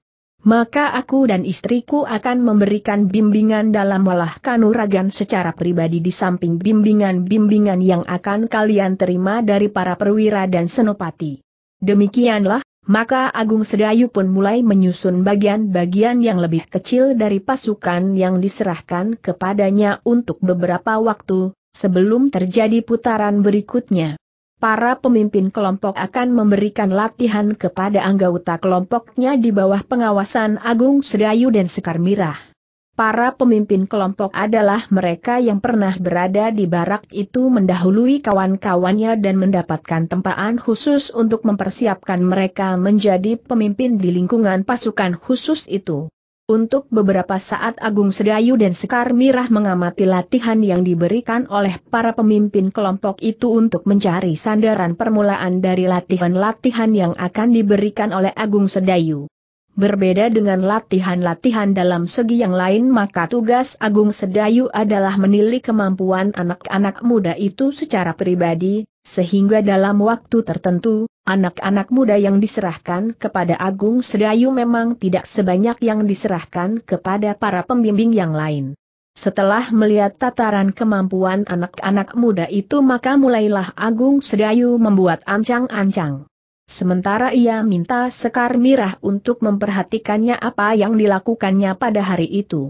Pada hari yang pertama Agung Sedayu tidak memberikan latihan yang langsung melibatkan anak-anak muda itu dalam kemampuan olah kanuragan. Tetapi Agung Sedayu memerintahkan mereka untuk melatih keterampilan kaki mereka.